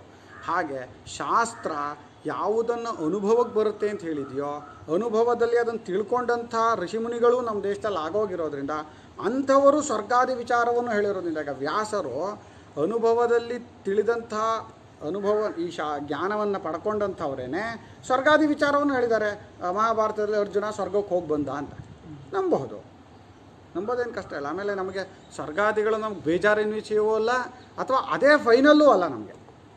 ನಾವು ತತ್ವಜ್ಞಾನವೇ ಪ್ರಧಾನ, ತತ್ವಜ್ಞಾನದಿಂದಲೇ ಮುಕ್ತಿ ನಮ್ಮದು ಪತಿತೇಪಿ ಶರೀರೇ ಅಮೃತತ್ವಂಚ ಗಚ್ಚತಿ. ಇನ್ನು ಸತ್ತೋದ್ಮೇಲೆ ಬದುಕಿರೋವಾಗಲೇ ಪರ್ಕೊಂಡು ಆಗಿದೆ ಅವನು. ಮತ್ತು ಆ ದೇಹ ಬಿದ್ದೋದ್ಮೇಲೆ ಅವನು ಅಮೃತತ್ವವನ್ನು ಹೊಂದೇ ಹೊಂದುತ್ತಾನೆ. ಬದುಕಿರೋವಾಗಲೇ ಪಡ್ಕೊಂಡಿದ್ದಾನೆ ಅಂದರೆ ದೇಹ ಬಿದ್ದೋದ್ಮೇಲೆ ಇನ್ನೇನು ಹೇಳಬೇಕು? ಅವನ ಕಡೆಯಿಂದ ದೇಹ ಯಾವಾಗಲೂ ಇಲ್ಲ. ನಮ್ಮ ಕಡೆಯಿಂದ ಜ್ಞಾನಿ ಅಂತ ಒಬ್ಬ ಇದ್ದ ಅವನಿಷ್ಟು ವರ್ಷ ಬದುಕ್ತಾ, ಅವ್ರು ಹೋಗ್ಬಿಟ್ರು ಅಂತ ನಾವು ಅನ್ಕೋತೀವಲ್ಲ, ಆ ಕಡೆಯಿಂದ ಅವರೇನು ಹೋಗಿಲ್ಲಪ್ಪ, ಹೆದರ್ಕೋಬೇಡ, ಹೋಗಿರೋರು ನಾವು. ಅದಕ್ಕೆ ಬೃಹದಾರಣ್ಯಕದಲ್ಲಿ ಜ್ಞಾನಿಯು ಮೃ ಪ್ರಾಣವು ಎಲ್ಲಿಗೂ ಹೋಗುವುದಿಲ್ಲ ಅಲ್ಲಿ ಇಲ್ಲೇ ಇರುತ್ತವೆ ಅಂತ ಬರುತ್ತೆ. ಆ? ಯಾಕೆ ಅಂದರೆ ಹೋಗೋರು ನಾವು ನಾವು ಕರ್ಮಕ್ಕೆ ಅನುಸಾರವಾಗಿ ಮುಂದಿನ ಜನ್ಮಗಳನ್ನು ಪಡ್ಕೊಂಡು ಪಡ್ಕೊಂಡು ಪಡ್ಕೊಂಡು ಮುಂದಕ್ಕೆ ಹೋಗ್ಬೇಕು ನಾವು. ಹೋಗೋರು, ತಿರುಗೋರು, ಒದ್ದಾಡೋರು ನಾವು, ಅಜ್ಞಾನಿಗಳು. ಜ್ಞಾನಿಗೇನು? ಹೋಗೋದೆಲ್ಲಿಗೆ ಅವ್ನಿಗೆ ಯಾವ ಕರ್ಮವೂ ಇಲ್ಲ, ಕರ್ಮದ ಫಲವೂ ಇಲ್ಲ ಹೋಗಬೇಕಾದೂ ಇಲ್ಲ ಬರಬೇಕಾದೂ ಇಲ್ಲ. ಅವನು ಸರ್, ಆಮೇಲೆ ಹೋಗಬೇಕಾದ, ಬರಬೇಕಾದಿಲ್ಲ ಅನ್ನೋದಕ್ಕೆ ಅವ್ನು ಪರಿಚ್ಛಿನ್ನ ಶರೀರಾದಿಗಳಲ್ಲಿ ಅಭಿಮಾನವೇ ಇಲ್ಲ. ಅಪರಿಚ್ಛಿನ್ನನಾದ, ಸರ್ವವ್ಯಾಪಕನಾದ ಪರಮಾತ್ಮನೇ ನಾನು ಅಂದ್ಕೊಂಡಿದ್ದಾನೆ ಹೋಗೋದಿಲ್ಗೆ ಬರೋದಿಲ್ಗೆ ಎಲ್ಲ ಕಡೆಯಲ್ಲೂ ಇದ್ದಾನೆ ಅದರಿಂದ ಸಚ್ಚಿದಾನಂದ ಗುರುಗಳು ಈಗಲೂ ಎಲ್ಲರ ಹೃದಯದಲ್ಲೂ ಹಾಗೆ ಇದ್ದಾರೆ ಅವರು. ಅವರೇ ಆ ವಾಕ್ಯಗಳನ್ನು ಸ್ಮರಣೆ ಮಾಡಿಸೋದು ಅರ್ಥ ಮಾಡಿಸೋದು ಶಂಕರಾಚಾರ್ಯರು ಹಾಗೆಯೇ ಬೇರೆ ಬೇರೆ ಎಲ್ಲ ಅದು. ಸಚ್ಚಿದಾನಂದರು ಅಂತ ಒಬ್ಬರು ಅವರೂ ಸರ್ವವ್ಯಾಪಕ ರಾಮಕೃಷ್ಣ ಪರಮಹಂಸರು ಅಂತ ಒಬ್ಬರು ಅವರೂ ಸರ್ವ ಸರ್ವವ್ಯಾಪಕದಲ್ಲಿ ಎರಡೂ ಮೂರು ಬರಲ್ಲ ಆಕಾಶ ಅಮೇರಿಕಾದ ಆಕಾಶ ನಮ್ಮೂರಿನ ಆಕಾಶ ಬೇರೆ ಬೇರೆ ಅದು ಸರ್ವವ್ಯಾಪಕ ಇದು ಸರ್ವವ್ಯಾಪಕ. ಅರ್ಥ ಇದೆಯಾ? ತತ್ವವನ್ನು ತಿಳ್ಕೊಂಡ್ಮೇಲೆ ಎರಡೂ ಅನ್ನೋದೇ ಇಲ್ಲ ಅಲ್ಲಿ. ಅವ್ರನ್ನ ರಾಮಕೃಷ್ಣ ಪರಮಹಂಸರು ಅಂತ ನೀನು ಅನ್ಬೋದು, ವಿವೇಕಾನಂದರು ಅಂತ ಅನ್ಬೋದು, ಸಚ್ಚಿದಾನಂದ ಗುರುಗಳು ಅನ್ಬೋದು ರಮಣ ಮಹರ್ಷಿಗಳು ಅನ್ಬೋದು, ಶ್ರೀರಾಮಚಂದ್ರ, ಶ್ರೀಕೃಷ್ಣ ಪರಮಾತ್ಮ, ಏನು ಹೇಳಿದ್ರು ನೀನು ಈ ಕಡೆಯಿಂದ ಕೊಡ್ತಾರೆ ಹೆಸರೇ ಹೊರತು ತತ್ವಕ್ಕೇನೆ, ಅದು ಸರ್ವವ್ಯಾಪಕ ತತ್ವ. ಅದಕ್ಕೇನೆ ಜ್ಞಾನಿಗಳನ್ನು ಉಪಾಸನೆ ಮಾಡಿದವ್ರಿಗೆ ಅವ್ರು ಆ ರೂಪದಲ್ಲಿ ತೋರ್ಕೋತಾರೆ. ಹೇಗೆ ತೋರ್ಕೋತಾರೆ? ಎಲ್ಲಾದರೂ ಮಾಡಲಿ. ರಮಣ ಮಹರ್ಷಿಗಳ ಶಿಷ್ಯ ಒಬ್ಬ ಅಮೇರಿಕಾದಿಂದ ಬಂದಿದ್ದ. ಅವನು ರಮಣ ಮಹರ್ಷಿಗಳಿಗೆ ಗುರುಗಳೇ, ನೀವು ನನಗೆ ಅಮೇರಿಕಾದಲ್ಲಿ ದರ್ಶನ ಕೊಟ್ಟರಿ ಇಲ್ಲ. ಅದು ನಿನ್ನ ಮನಸ್ಸಿನ ಭ್ರಮೆಯಪ್ಪ ಅಂದ್ರೆ. ಅವ್ರಿಗೆ ಇಲ್ಲದೇ ಇರೋ ಜಾಗ ಯಾವುದು? ಆದರೆ ಎಲ್ಲ ಜಾ, ಎಲ್ಲವೂ ತಾನಾಗಿದ್ದರೂ ಶಿಷ್ಯ ಆದವನು ಯಾವುದೋ ಒಂದು ಆಕಾರದಲ್ಲಿ ಅದನ್ನು ಉಪಾಸನೆ ಮಾಡಿದರೆ ಪರಮಾತ್ಮನೇ ತಾನೇ ಈಗ ಅವರು. ಪರಮಾತ್ಮ ಸ್ವರೂಪವನ್ನು ಪಡ್ಕೊಂಡಿದ್ದಾರೆ ಅಂದರೆ ಪರಮಾತ್ಮನೇ ಅವರು. ಅದರಿಂದ ಅವ್ರು ಆ ರೂಪದಲ್ಲಿ ತೋರ್ಕೊಳ್ಳೋಕೆ ಅವ್ರಿಗೇನು ಕಷ್ಟ ಏನಿಲ್ಲ. ಯಾಕೆಂದರೆ ಯಾವ ರೂಪದಲ್ಲೂ ಅಭಿಮಾನ ಇಲ್ವಲ್ಲ. ನೀನು ರಾಮ ಅಂತಂದರೆ ಅದೇ ತತ್ವವೇ ರಾಮನಾಗಿ ತೋರ್ಕೊಳ್ಳುತ್ತೆ ನೀ ಕೃಷ್ಣ ಅಂದರೆ ಕೃಷ್ಣನಾಗಿ ತೋರ್ಕೊಳ್ಳುತ್ತೆ. ಸಚ್ಚಿದಾನಂದ ಗುರುಗಳು ಅಂತ ಉಪಾಸನೆ ಮಾಡಿದ್ರೆ ಅದೇ ತತ್ವವೇ ಸಚ್ಚಿದಾನಂದ ಗುರುಗಳಾಗಿ ತೋರ್ಕೊಳ್ಳುತ್ತೆ. ಅದಕ್ಕೆ. ಸೋ ಅಲಿಂಗ ಪರಃ ಅವ್ಯಕ್ತಾತ್ ಪುರುಷ ಇತಿ ಪೂರ್ವೇಣೈವ ಸಂಬಂಧ.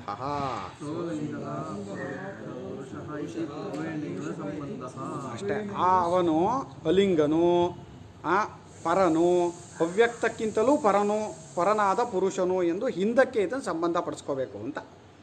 ಆ ಲಿಂಗನಾದ ಪುರುಷನು ಅವ್ಯಕ್ತಕ್ಕಿಂತಲೂ ಹೆಚ್ಚಿನವನು ಎಂಬು ಎಂತ ಇದನ್ನು ಹಿಂದಕ್ಕೆ ಸೇರಿಸ್ಕೋಬೇಕು. ಹಿಂದಿನ ವಾಕ್ಯದಲ್ಲಿ ಅದಕ್ಕಿಂತ ಅದು ಅದಕ್ಕಿಂತ ಅದು ದೊಡ್ಡದು ಅಂತ ಹೇಳ್ಕೊಂಡು ಬಂದಿದ್ದೀವಲ್ಲ, ಅದಕ್ಕೆ ಇದನ್ನು ಸೇರಿಸ್ಕೋಬೇಕು ಅಂತ. ಹರಿ ಓಂ ಶ್ರೀಕೃಷ್ಣಾರ್ಪಣಮಸ್ತು. ಜಾಸ್ತಿ ಆಯ್ತು ಸಮಯ.